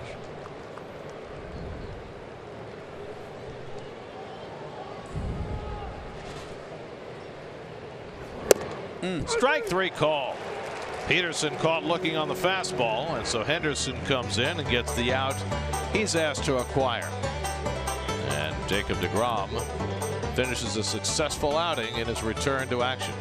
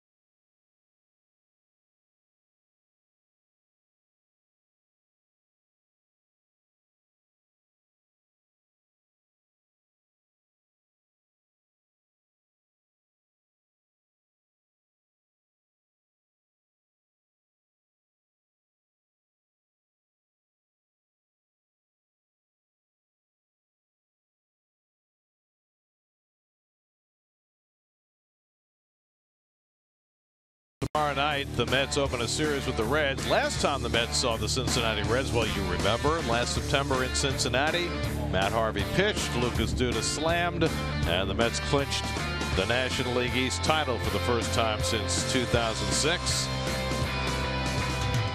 And now the Mets and Reds will re-engage tomorrow night. And for more on the Reds, let's check in with Steve. Well, Gary, the last time the Mets did see the Reds, they hit a couple of big home runs in that clincher. And even though it's at Citi Field this week, the same may be in store. The Reds, three home runs given up today against the Cubs. That makes it a season total of 34. They lead the major leagues. And as bad as the starting pitching has been, there's an excuse there. They have some starting pitching injuries. The bullpen has been absolutely horrible. An ERA of close to seven, by far the worst in the major leagues. A full point plus higher than the second worst team in the majors. Mm. J.J. Hoover, he was supposed to be their closer. He's already out of that position, though. A 19.5 ERA in eight appearances. They're mm. thinking of using the former Yankee Caleb Cotham as the closer, but he hadn't done all that well either. But um, Steve makes the point about injured starting pitchers. Homer Bailey trying to come back from Tommy John surgery. Anthony DeSclafani, Michael Lorenzen, John Lamb, all on the disabled list. The guy the Mets will face tomorrow night, Raisel Iglesias, is probably their best starter, but you know he's more suited to being a back of the rotation guy. So, uh, so they've got some, they've got some problems, and you know the Reds are another one of those teams like the Braves, the Phillies, uh, the Brewers are in that category too. They're you're really retrenching for the future, and it's another one of those teams that the Mets need to make some hay against. Well, we looked at in spring training, we gazed at the April schedule, Gary, and said the Mets have to feast. Now they got off to the, the slow start. I think a lot was due to the ESPN start of opening day. They had two days off six days off in April, cold weather. Okay, now they're kind of getting into the swing of the season and playing the kind of ball we envisioned. Three and two to Plawecki leading off the seventh against Alexi Ogando, and he takes it low ball four, and the Mets have the leadoff man on. And they'll get Juan Lagares to the plate with a runner aboard. Well, the Reds do have some offensive weapons, led by Joey Votto, but Votto, like Freddie Freeman, is off to a, a poor start, hitting under 200. Well, they lost Todd uh, Frazier too to the White Sox. That's a big bat out of that lineup. Uh, Jay Bruce is having a better run right now. He had a terrible cut last couple years. And the uh, shortstop Zach Cozart, who was hurt most of last year, off to a terrific start. He's hit 400 coming into the day. What's Billy Hamilton up to? Well, he's got a, a sore thumb. He's missed the last three games. So, uh, so that's of concern. So it's it's really uh, Bryan Price has got a, a really tough task there. On the plus side, as you look at last year when they lost 98 games, mm. the uh, the third baseman Eugenio Suarez 303 five home runs coming into the day. He's he's off to a terrific start. That is a ballpark to hit in too much like Philadelphia. It's a bandbox out in Cincinnati.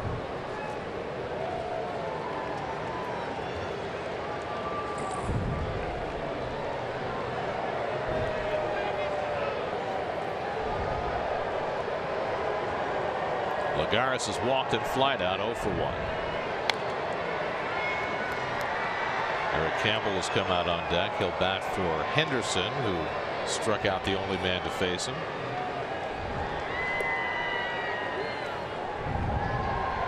It's got a run in the first. Braves tied it in the fifth on Nick Markakis' RBI hit.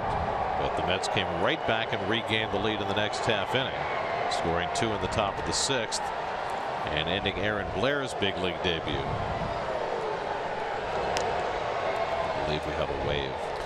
It only seemed to have magic in the 80s at Shea Stadium. Again, the curly shuffle in the seventh inning stretch. Well, that's because the magic was back. That's right. Catch the rising stars. Bring your kids to see our kids. One and two to Lagares.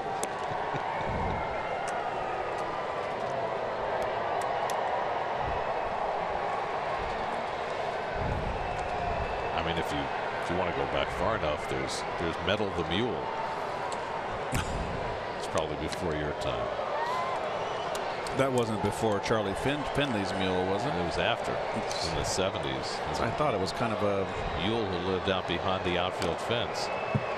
Mettle, M-E-T-T-L-E. I always liked when uh, then coach Joe Pignatano kept the old uh, uh, vegetable garden out in the bullpen. The tomatoes. Yes.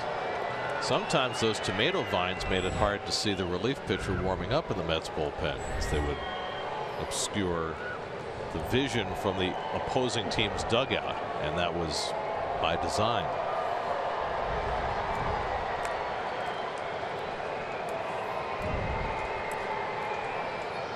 One two.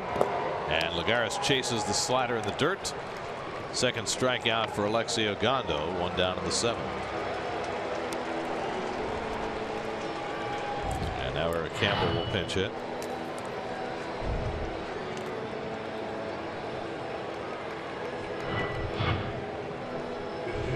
Of course, uh, Charlie Finley's mule.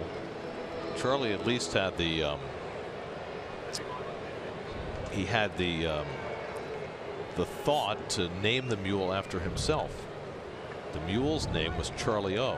That's right. Had the b- green blanket over it, remember? With the A's Of logo. Green gold. Yep.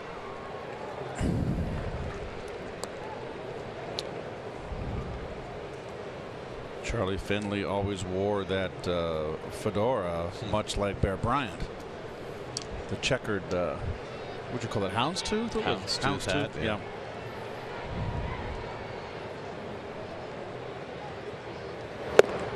Campbell can't catch the high fastball, and it's 0 2.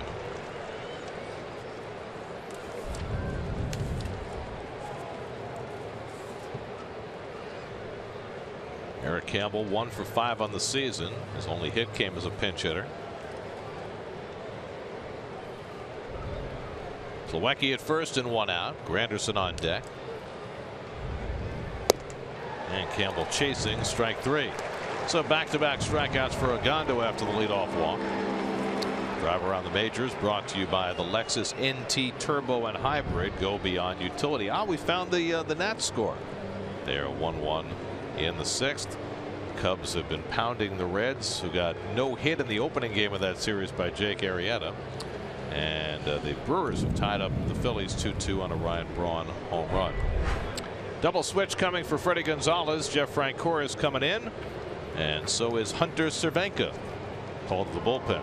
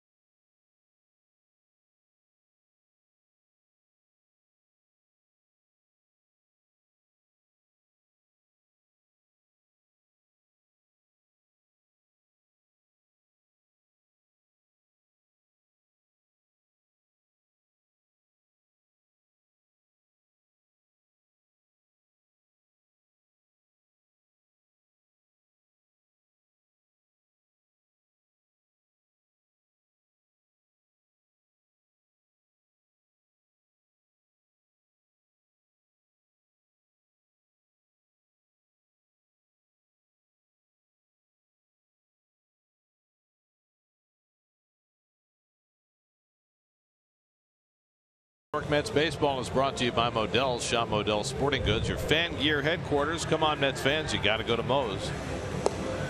Call to the bullpen brought to you by Memorial Sloan Kettering Cancer Center. Jeff Francoeur in to play left field. He'll bat ninth, and the new pitcher, lefty Hunter Cervenka. The rookie, first time in the big leagues for this young man, signed by the Red Sox back in 2009. It makes six years in the minor leagues, but he hung in there. Here he is. No relation to the great Exene Cervenka. Fill me in. Exene and John Doe were the wonderful co-lead singers in the band X back in the 80s. Curtis Granderson takes low and inside some of the best rock and roll harmonies you've ever heard. I've never heard of X. John Doe and Exene Cervenka. X under the big black sky. I'll have to look it up. Get the album. Fourth of July. Great hit. Really? Is it punkish? It's a little new wave-ish, yeah. Because you like that It, the you know, punkish no question, but it's uh, but the check out the harmonies. You'll love it. I will. Their voices blend just Now the letter X, not X, EX. just just X, not like an X. not double, wife. not X. The letter X. not XXX, just X. Granderson has singled and walked today. He scored two runs. Mets three runs, six hits. The Braves one run and eight hits. Mets have done it without the home run ball today. Some good situation hit, situational hitting. couple of sacrifice flies. And Granderson takes a slider for a strike from Cervenka, one and two. Cervenka originally drafted by the Red Sox. He was with the Cubs last summer. They released him, and the Braves signed him. Now his seventh big league appearance, and so far so good for Cervenka.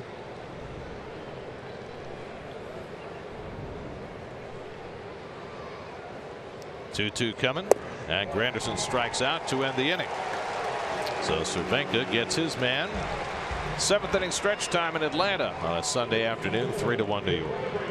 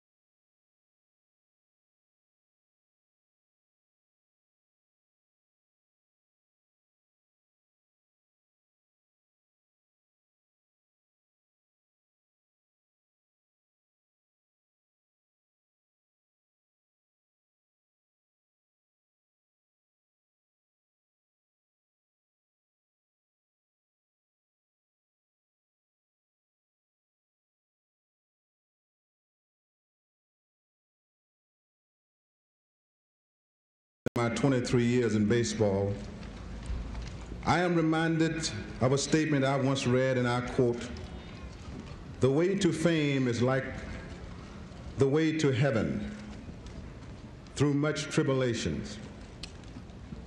It had been for me, to quote a very popular song, a long and winding road. Nevertheless, I have been extremely blessed in my lifetime. I stand here today because God gave me a healthy body, a sound mind, and talent. The words of the great Hank Aaron during his Hall of Fame induction speech in 1982. Hank retired as the leading home run hitter in the history of baseball and considered by some to be the legitimate home run king. And he is immortalized throughout Turner Field, statue outside, memorabilia inside. was a great player, and there's his numbers, his career. Well, that's you're hired. Yeah, the numbers speak for themselves, don't they? He was so incredibly consistent. Never hit 50 home runs in a season, and yet hit 755 for his career. Hit 40. Frank Robinson was the one that never hit hit 500 home runs, Frank, but never hit 30.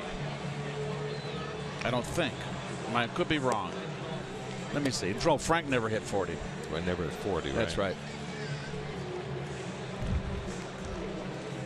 Hank Aaron hit 20 or more 20 straight years. Imagine that. Hansel Robles in for the second straight day. The workhorse, Hansel, he's going to get some more action here. Big strikeout last night of Freddie Freeman. Early in that game when it was tight.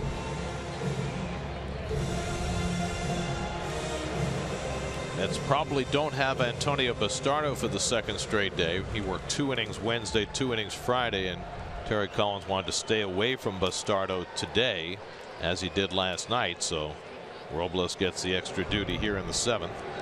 Facing Mallex Smith with Jeff Francoeur and Nick Markakis to follow with the Mets leading three to one. And Smith thinking about a bunt takes ball one.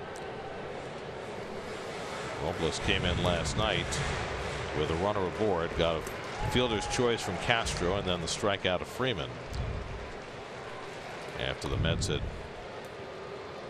taken a four to one lead.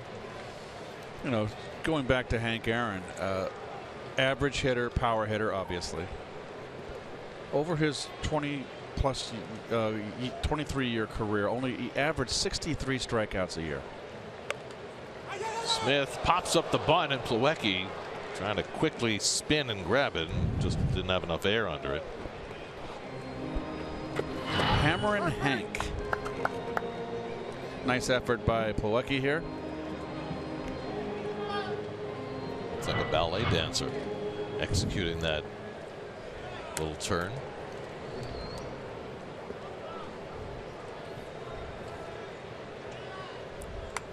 Robles ahead one and two with Frank Francoeur on deck tries the quick pitch and misses high. I think that's the first time we've seen that this season. The Latroy that got him in so much trouble in Philadelphia last year. Well, got Larry Bowa all bent out of shape. What's interesting though is not so much with Robles, but that we haven't seen the quick pitch from Familia this year. Because remember, he gave up the home run in game one of the World Series to Alex Gordon on the quick pitch and was criticized for it. Something he had done all year very effectively. And I think, at least so far this season, it has disappeared from Familia's repertoire.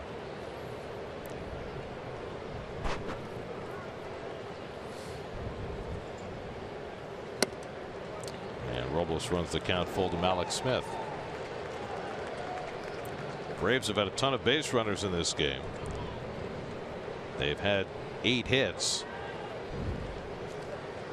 but no extra base hits. And that's really been the story of this entire series and season for Atlanta. Smith pops one up. Plawecki gives a look, but it's back in the crowd. Consider this the Braves came into the day with an on base percentage as a team of 303, which is not great. Third from the bottom of the league. Their slugging percentage is actually lower than their on base percentage at 287, which is last in the league. Oof. And that's incredibly rare, even over a you know the short sample size of three weeks, that your slugging percentage is lower than your on base percentage.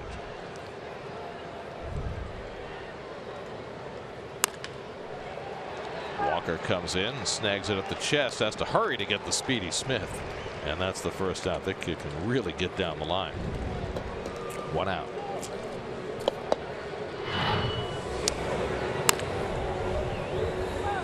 Hustling down that line. Two hands nicely done in front of the ball by Walker. Got that in between hop. Tough hop.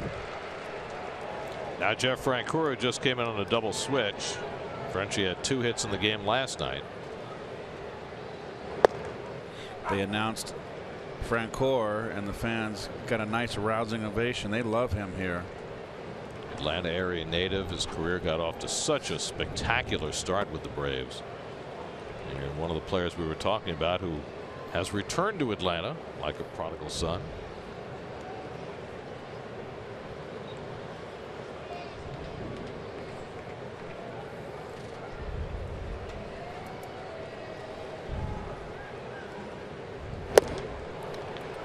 Slider from Robles, one and two.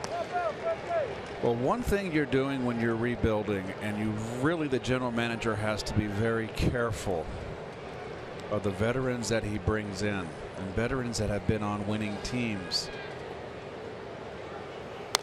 is that they've got to be a special breed. They have to be above the morass and really set an example for the young kids and not get discouraged. So it's incumbent, particularly on Freddie Freeman, even though he's 26, to hustle and and set the example on the field. And it's not easy. Particularly when you played for winning teams. In the latter part of your career, a lot of guys have you know early in their career played on winning teams and then they on the backside they're playing for losers. I was fortunate. I played for the losers rebuilding teams early in my career. The second half of my career for 10 years I was in I was in the hunt all the time. It's fantastic. Anderson picks off the line drive from Francoeur for the second out. Well, when you sign veteran players to fill out your team who are placeholders and you know Frank Francoeur and Kelly Johnson guys like that I would think that you'd want to get the right personalities there too guys who can stay upbeat and not get sucked down into the as you say the morass when you know you're going to have a losing season. If you've got veterans on that team that are sulking and just going through the motions that's that's not what you want your young players to see mm -hmm. to be around.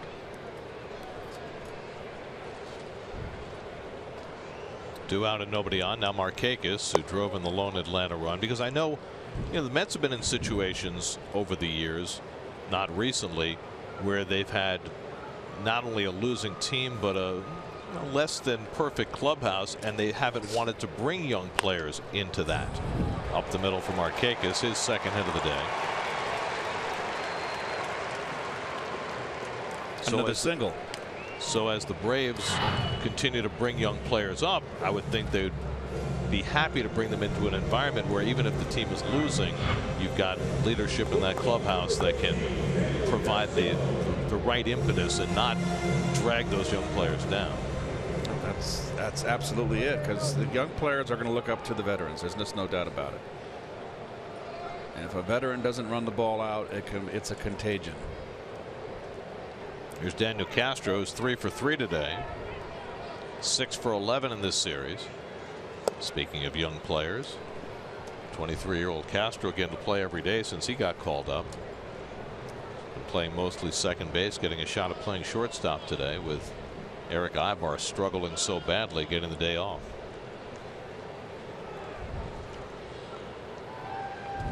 Nine hits now for Atlanta, all singles. Slider in for a strike to Castro, one and one. Jacob DeGrom went five and two thirds in his return to action, allowed one run and eight hits, no walks, three strikeouts, 82 pitches. So Jacob's ERA through two starts is a spiffy 1.54. You know, if you go back to the day that DeGrom made his major league debut, it's a little less than two years ago. Came to the big leagues May 15th of 2014. His ERA is the fourth lowest in the major leagues since he arrived. Only Clayton Kershaw, Jake Arrieta, and Zack Greinke have lower ERAs. And that continues this year. I mean, that's amazing when you think about it.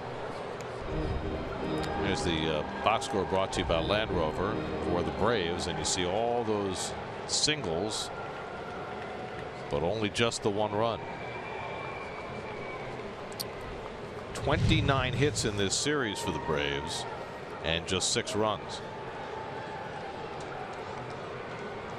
Only two extra base hits, both doubles.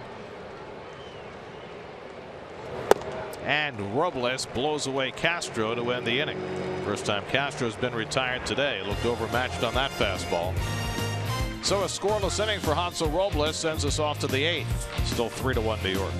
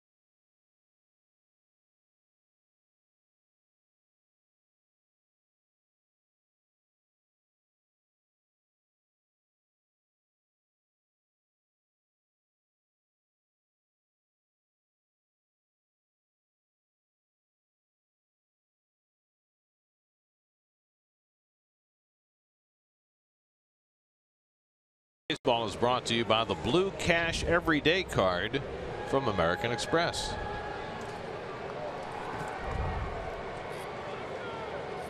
Time Warner Cable brings you the line score. Mets got a first inning run. Braves tied it in the fifth. Mets immediately regained the lead in the sixth. And now we're on to the eighth with Asdrubal Cabrera to lead off against Hunter Cervenka. Cabrera two hits today, both singles to right field. Now he turns around about right-handed for the first time, and Cervenka skips one in for ball one. And the Mets have not faced a whole lot of left-handed pitching so far this year. In fact, Cabrera's had only six at bats, right, batting right-handed this year. Six of his 62. Mets have only faced one lefty starter this season through their first 17 games. They'll face another righty tomorrow and then finally their second lefty Tuesday night they face Brandon Finnegan of the Reds. So just one lefty in the first 18 games of the season and it's quite a dearth of left-handed pitching. When the Mets have faced lefties, they found them to their liking. The Mets came into the day with a team batting average of 305 against left-handed pitching as opposed to 242 against righties, but obviously far more at bats against the right handers. Cabrera lifts one to right center. Back in the gap, Markakis with Smith, and Smith makes the catch at the edge of the track. One away. Play of the game brought to you by Modell's, your fan gear headquarters. This was the first out of the game with first and third. Jace Peterson making that diving catch in foul territory. It was the first out of the game. It was also the first run of the game as Curtis Granderson trotted home on the sacrifice fly by Michael Conforto, who also drove in the Mets' second run with a long double to right field. So Conforto one for two today. And now facing the lefty Cervenka, who again skips in a slider, ball one. Conforto has gotten these periodic at bats against left-handers. In a different situation, Terry might have batted for him, but with Cespedes unavailable, Conforto stays in. Good fastball up and in. Good cut by Conforto. Oh, this kid, I tell you what, I like what I see mucho. Just love his swing, love his approach, love all visit bats. I'm being asked why. Folks, you need, you need me to really explain it to you. I love his swing. He stays level. He's got a good eye at the plate. He stays in on left-handers. This is a hard thrower right here. He just fouled back an up and in fastball. A great cut. He's two for six against lefties this year. And he fights that one off. Boy, they are really giving him the third base line, Gary. Uh, this is the we've seen a lot of teams play him with the, with the heavy shift over to right field. Not the Braves, but boy, they're just giving him that third base line and a big chunk of that hole. And Conforto's capable of putting it there, but they got Francoeur out there in left field playing on the lines as if he's an off-field hitter. He hit a fly ball down that left field line his first time up today.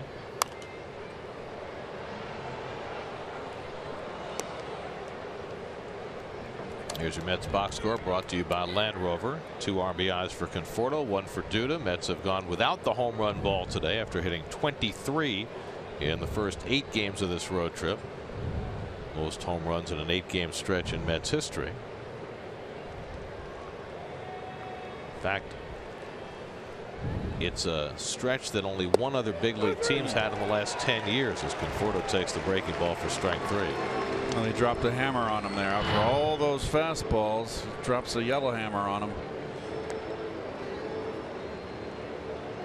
It just started out inside and froze him. It wasn't a great curveball. If he'd stayed in and pulled the trigger, he would have ripped it. We've all done that. But it just froze him. So two out of nobody on. Now Duda, who has a single and a sacrifice fly today, one for two.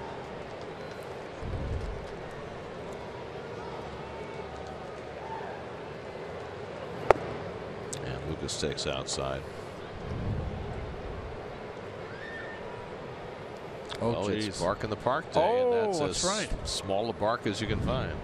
Big, little- ear, big ears, though. Little short-haired Chihuahua, little barkers, yappers. Get the dog a taco. One and one to Duda. That what kind of comment is that? Just because it's, a Chihuahua, it No, likes it's- tacos. It's a reference to the commercials for the the chain of Mexican fast food restaurants. you might have seen them. They were all over TV. They featured a Chihuahua. I mean, if I saw a white dog with a black eye patch, I'd probably reference Spuds MacKenzie. yes, you right. Remember Yo Yo Quiero? Here's the one two. And that's hmm. off the plate. Two and two.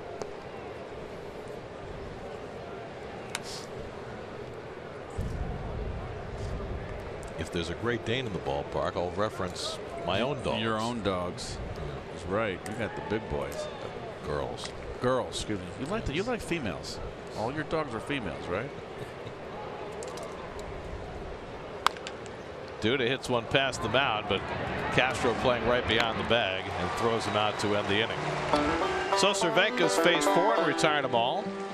Yes, it is a dog day afternoon in Atlanta. Mets with a 3-1 lead in the eighth.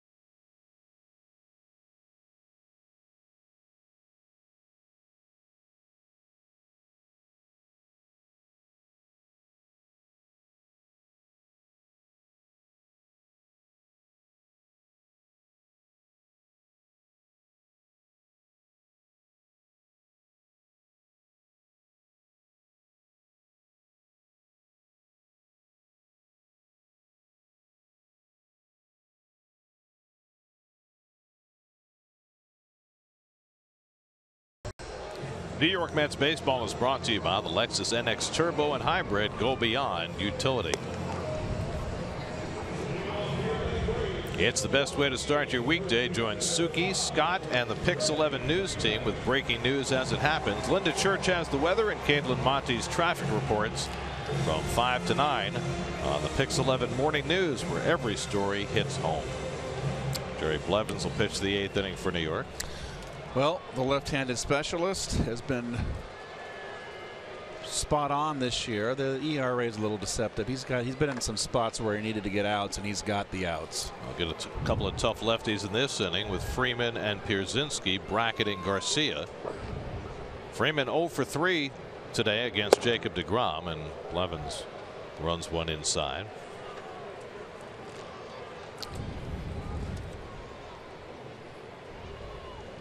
With Antonio Bastardo not available for the second straight day because of a little overwork. Blevins gets the eighth inning. And Freeman fouls off the curveball one and one. Jim Henderson retired his only batter. Hansel Robles worked a scoreless seventh after DeGrom went the first five and two thirds. Freeman three for seven in his career against Blevins. Who struck out his only batter on Friday night, his only appearance in this series. And the curveball pulled foul. One and two to Freeman.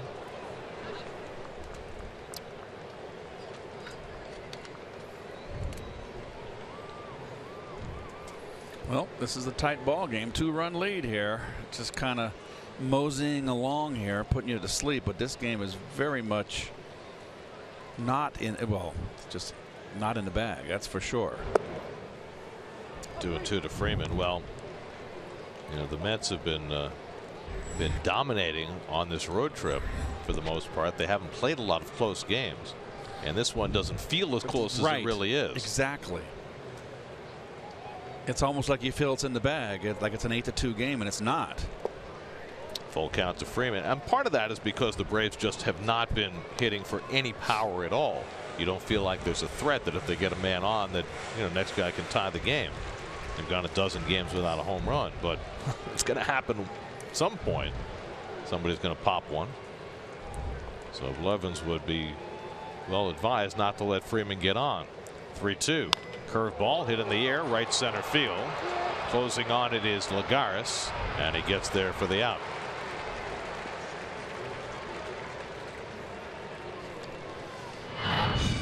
Freeman, who's been struggling, big widespread. Look at the hitch downward. Let's see the contact. He's just not hitting with any authority right now, it seems like. Here, here's Adonis Garcia, who's two for three today, six for 12 in this series. Fouls it back this way, just to our right.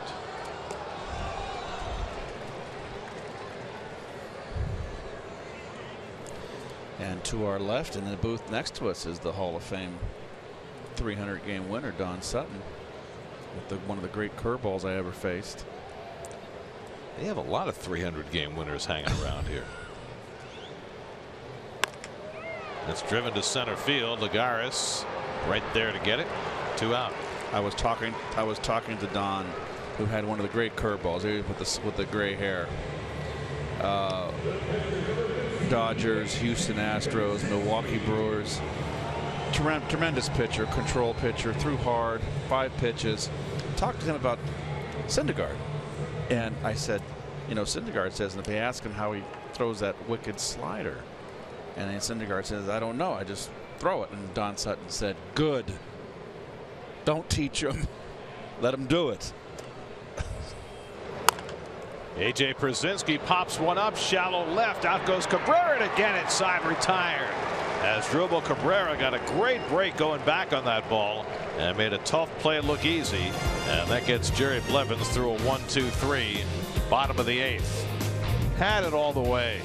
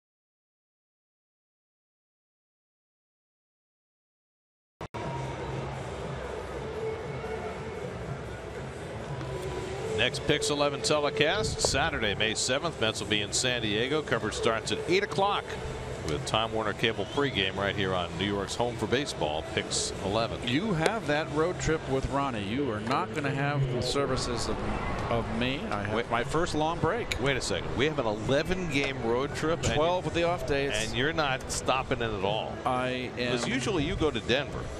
I do, but Ronnie and I made a switch because my daughter is not going to be in the area with the grandkids, and Ronnie's already out there. And Ronnie said, "Why don't I just do, why don't I just do Denver coming back, and then you can take Arizona from me in August when we go Arizona to San Francisco."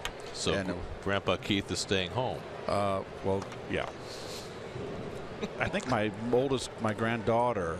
Maggie has a dance recital and they can't come down all weekend. Big school event. Gotcha. Jason Grilli in to pitch the top of the ninth inning. Neil Walker leads off. His former Pittsburgh teammate swings and misses, nothing in one. Walker had a hit against Grilli.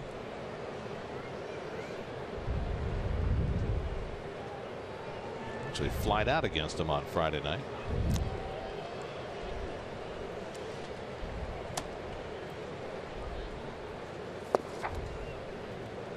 Ball and a strike to Walker. Flores and Plawecki to follow. Jeurys Familia getting ready in the Mets bullpen. Mets held Familia back last night. Remember, they had him up in the bullpen, and then they blew the game open in the top of the ninth and saved Familia. Used Logan Verrett in the ninth inning, and that means Jeurys will be that much more fresh for the save opportunity today. Wilmer Flores waits on deck. Kevin Plawecki behind him. Mets have had just six hits today, but they've made them work. A couple of sac flies, an RBI double for Conforto, and so far that's been enough.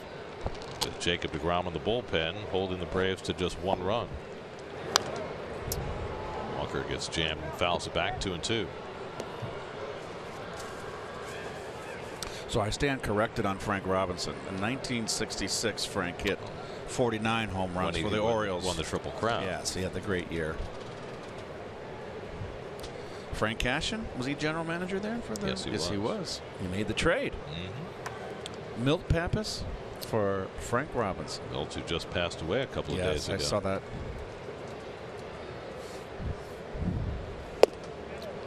Grilli strikes out Walker to start the ninth. You know the shame about Mel Pappas. He was a terrific pitcher. Had great careers in both leagues, but always resented the fact that he did not get that perfect game. Remember uh, Bruce Froemming, who was a rookie umpire at the time, called a close pitch, ball four, on a 3-2 pitch that would have ended his perfect game at Wrigley Field. Got the no hitter, but always felt as though he had been cheated out of a perfect game. And in fact, in in many of the obituaries and the follow-up stories on on um, Milt's death, um, Bruce Froemming is quoted and and had to defend himself all over again about the call that he made on that close pitch. And it's a shame because you know Milt had a terrific career, but it, but it was something that really stuck in his craw, even late in his life. He pitched for these uh, uh, Atlanta Braves. Latter part of his career.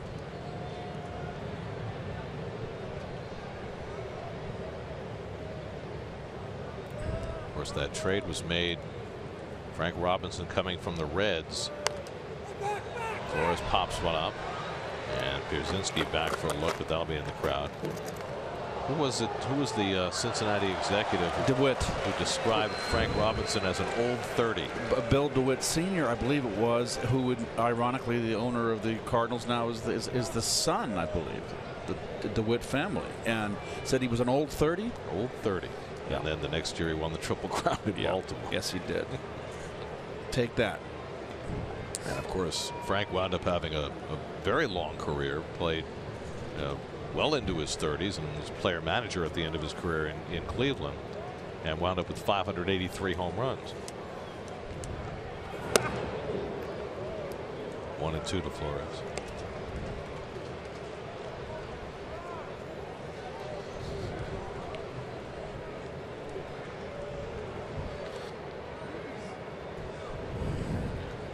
Flores 0 for 3 today, 1 for 20 to start his season.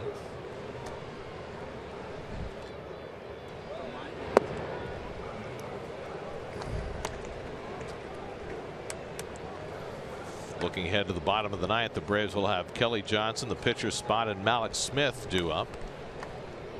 With Jeurys Familia getting ready to face the Braves order and looking to secure a sweep for the Mets before they head home. That's trying to finish off what would be a 7 and 2 road trip if they can get the win today.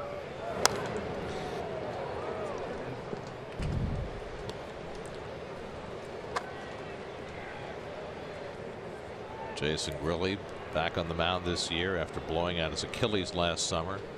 At age 39 able to continue his career.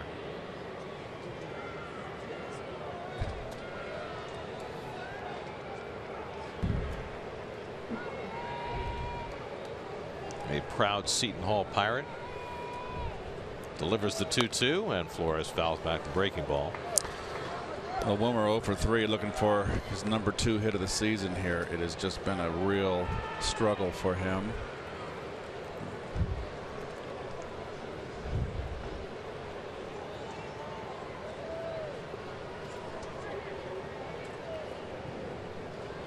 Well, if you recall, he didn't get off to a great start last year either.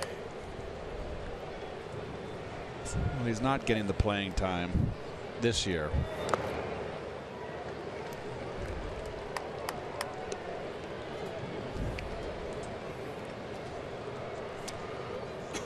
But last April he, he had not yet achieved full hero status. He gets a little more rope than he did last year.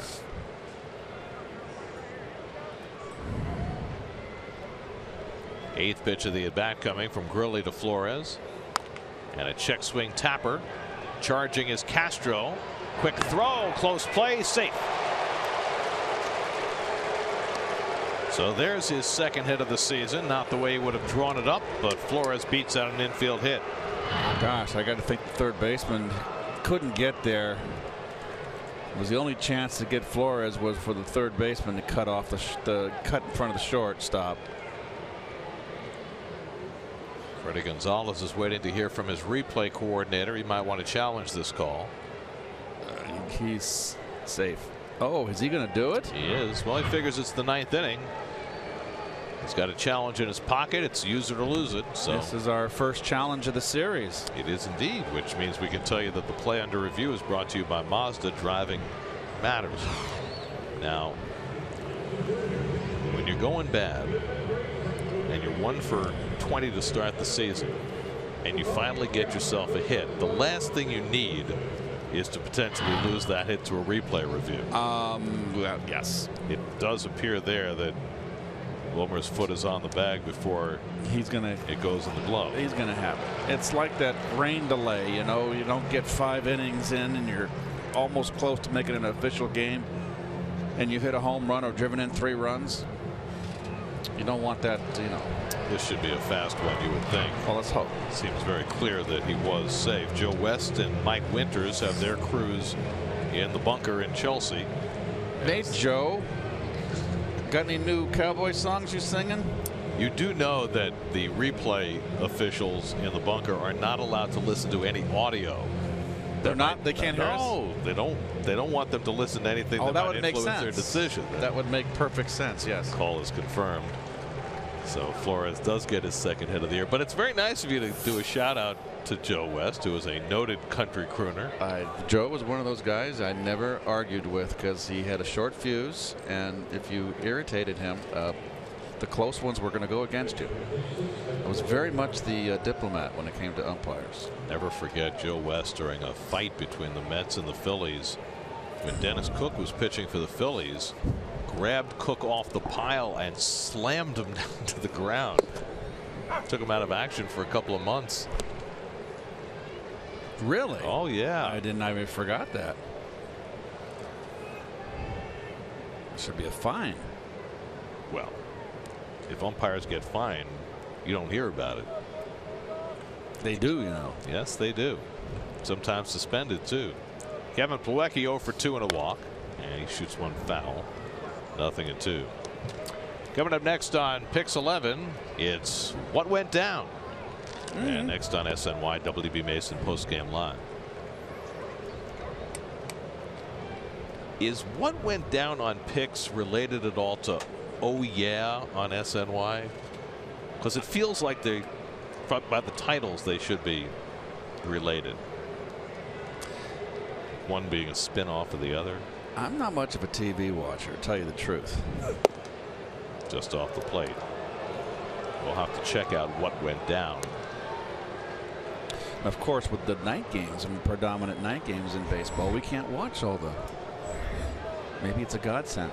Well, you know that there's a DVR, there's Netflix, there's Hulu. I, know. I understand. All sorts of ways to consume your favorite shows. Plawecki hits it out to right field, and Markakis is right there. Two out. Well, the Mets on this road trip have dominated two of the lesser teams in their division. They won two out of three from the Phillies. They're going for the sweep of the Braves. And going into the season, you figured that the Mets and the Nats, and to a lesser extent the Marlins, were going to have to beat up on these two lower teams who were clearly not in it to win it this year. So now you've seen the Braves and Phillies for three games. What do you think of what you've seen? Well, I miscalculated on the Phillies. I think they're a better ball club than we thought. Uh, they've got some young talent in that starting rotation. They've got a couple good hitters. They need, they got to pick up on the offensive side uh, and their bullpen. Uh, but the Braves here are a major facelift right here. This is uh, this is not a good ball club. Well, I, am with you. I, I, think that especially when you look at the young pitchers in the Phillies rotation with Aaron Nola having come up last year and Vince Velasquez having joined their rotation after the trade from Houston that gives them two guys to build around. I, I mean we saw Aaron Blair for the first time today. I don't think he's quite on that level and you haven't seen anybody yet at least in this Braves rotation that they can build around. We know one thing they've got a whole basket full of uh, first round picks that they traded for. Two and one to Lagares. Well, there are their top five prospects. They got uh, Blair and Swanson in the trade with Arizona. They got Sean Newcomb in a trade as well. We saw Ozzie Albies in um, spring training. He looked like he's going to be a terrific player, but he's still well down the food chain. So it's going to be a while. I mean, they're they're hoping to be a a better team next year when they get to their new ballpark in suburban Atlanta. But it's going to take a few years for John Hart and company to execute the kind of rebuild that they're trying for. I guess the question ends up being what can the Mets hope to achieve against these two teams, the Phillies and the Braves? How much do they have to win? Because, you know, the Nats are going to be playing the same schedule and trying to beat up on the same teams. Well, it's the same old adage, right? You play 500 against your your top division teams and you beat up on the second division teams. You've got to take advantage of this squad. And remember, Miami came in here Nice play by Freeman. Low throw, but handled by Castro, and they get the force to end the inning. Miami came in here and got swept by this Brave team. Mm-hmm. Jeurys Familia on call as we go to the bottom of the ninth. Mets looking for the sweep up three to one.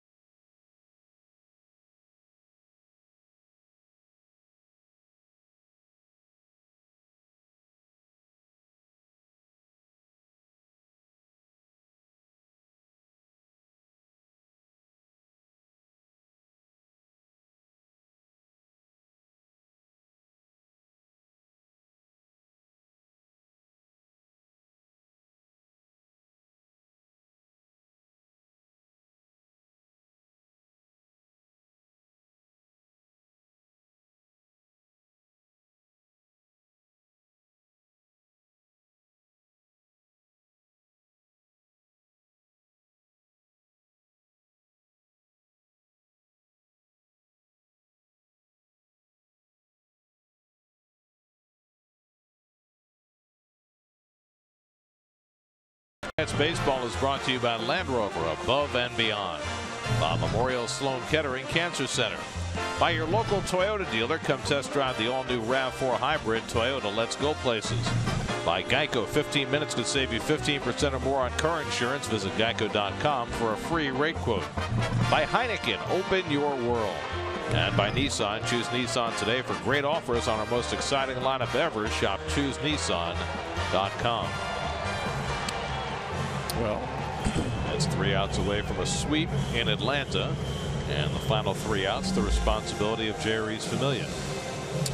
Well, Jeurys is perfect so far this year, 4 and 4, but he really hasn't, in my estimation, really gotten into that groove yet. He's kind of getting there. Kelly Johnson leads off the last of the ninth. Johnson one for three, an infield hit his last time up. Erick Aybar is on deck to pinch hit, and then Mallex Smith for the Braves in the last of the ninth. Atlanta trying to avoid falling to 4 and 14 on the season. They lost their first nine. They won their next four and now in danger of losing five in a row. And Familia behind 2 0. This is what I'm talking about with Familia. He's just all over the place sometimes and just hasn't. He used to pound the strike zone last year. He just hasn't found his groove yet.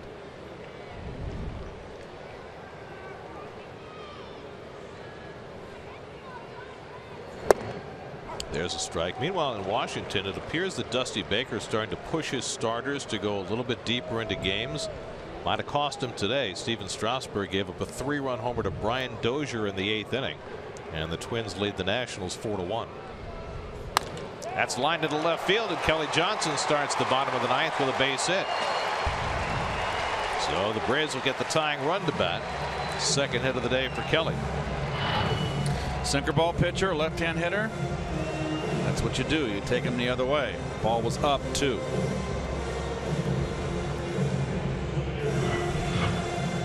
Interesting call for Fredi Gonzalez here. He's got only one left-handed bat on his bench, and that's the switch hitting Erick Aybar, who's really been struggling. He's got a guy on the bench in Drew Stubbs, who's got some power, who might be able to tie the game with one swing, but he's going to go with Aybar instead. Aybar 0 for 8 in this series starting the first two games getting the day off today. Aybar hitting just 138 for the year.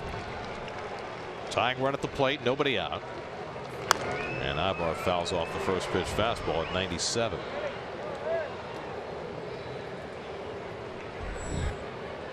Mallex Smith another guy without much power waiting on deck.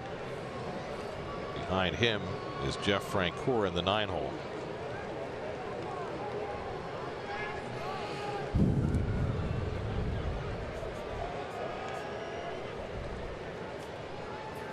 And Aybar hits a potential double play ball. And I don't know what Cabrera was thinking. I thought he had a play at second base, sure but did. turned it down. Wow. You got to keep the double play in order. Had the easy force for the easy out, getting the lead runner. You can see it right here. Maybe he just thought it was hit too slowly, no, but you can see there he had plenty please, of time to plenty get it to Walker. Absolutely. I don't know what he was thinking there. I mean, the, that run is of no consequence, but it does take the double play out of order. Mallex Smith, the batter, with Johnson at second and one out. Corners have to come in because he's always a threat to bunt. And Smith breaks his bat. Tough play against his speed. He got him two outs. So two broken bats in a row for Familia and Cabrera able to throw out the speedy Mallex Smith two away. Nice play by Cabrera coming in on the run. Has no other option but to come on the run with the speedy Smith.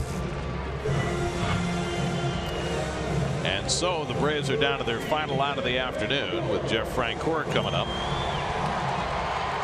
Frenchie came in in a double switch, lined out to right field, and is only at bat in the seventh.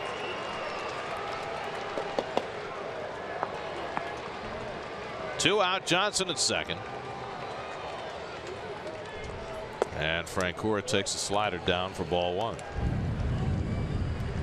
Nobody throws him first pitch fastballs anymore. If Francoeur can keep it going, Nick Markakis, who has two hits in this game, and the only RBI for the Braves, would be next. 1-0 from Familia, and a fastball strike, one and one. Not guarding the lines here. Duda off the line. Tying around the plate. Outfield very deep and toward left against Francoeur. Got to play no doubles in this spot.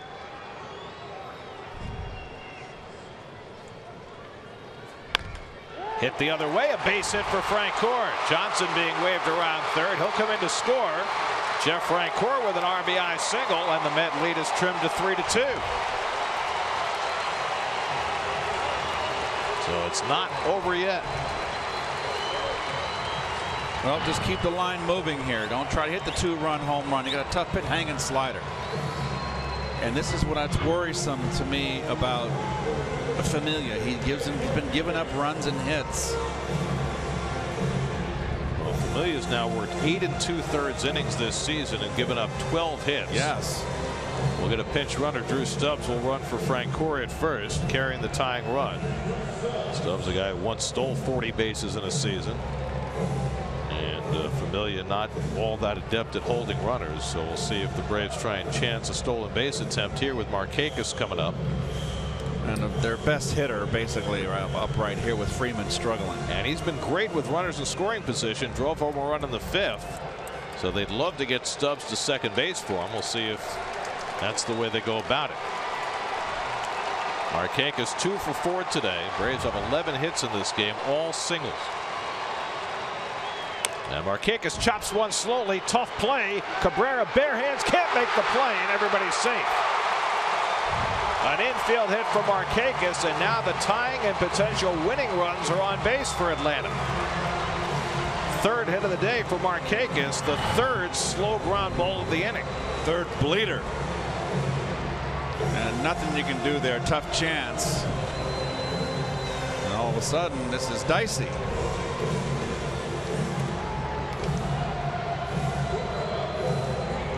I'm not sure that that uh, Cabrera was going to be able to throw him out, even had he been able to come up with the bare hand pickup. Agreed. So now Stubbs the tying run at second Markakis the potential winning run at first and Daniel Castro who has three hits today coming up. That is a dozen hits now for Atlanta including three in this ninth inning against Familia who's trying to stagger to the finish. Castro faced Familia Friday night and drew a walk.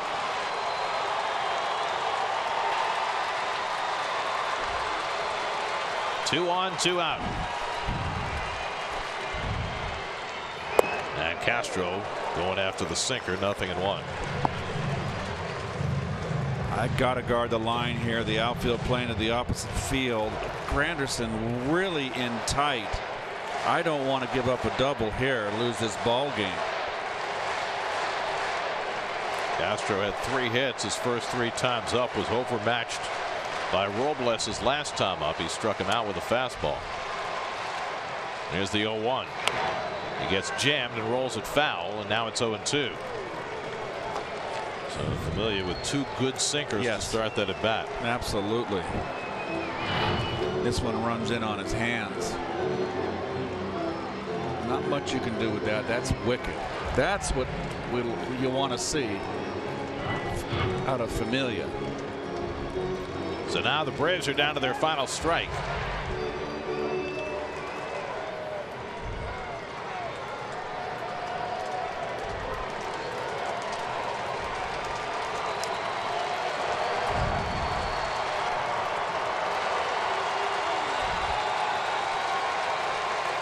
Oh and 2 to Daniel Castro.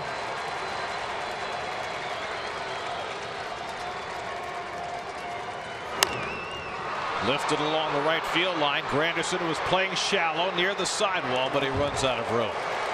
And Castro gets another life. Interesting that Granderson is playing so shallow. I know that Castro is kind of a slight guy. Yeah. 5'11", 190 pounds at best. Two home runs last year in 33 games for the Braves. And I think what Granderson's doing here is trying to cover up for his arm. But that gap in right center field with Lagares playing shallow too is going to lose this ball game. If Castro could keep it going, Freeman would be next. 0-2 from Familia. Ground ball, Walker's in front of it, down to a knee, and the ball game is over. Jeurys Familia staggers to the finish, but the Mets complete the sweep of the Braves as Jacob DeGrom gets the victory in his return to action, and the Mets fi finish off a 7-2 road trip with a 3-2 win. Well, a day without their two starters, a day game, Wright and Cespedes on the bench.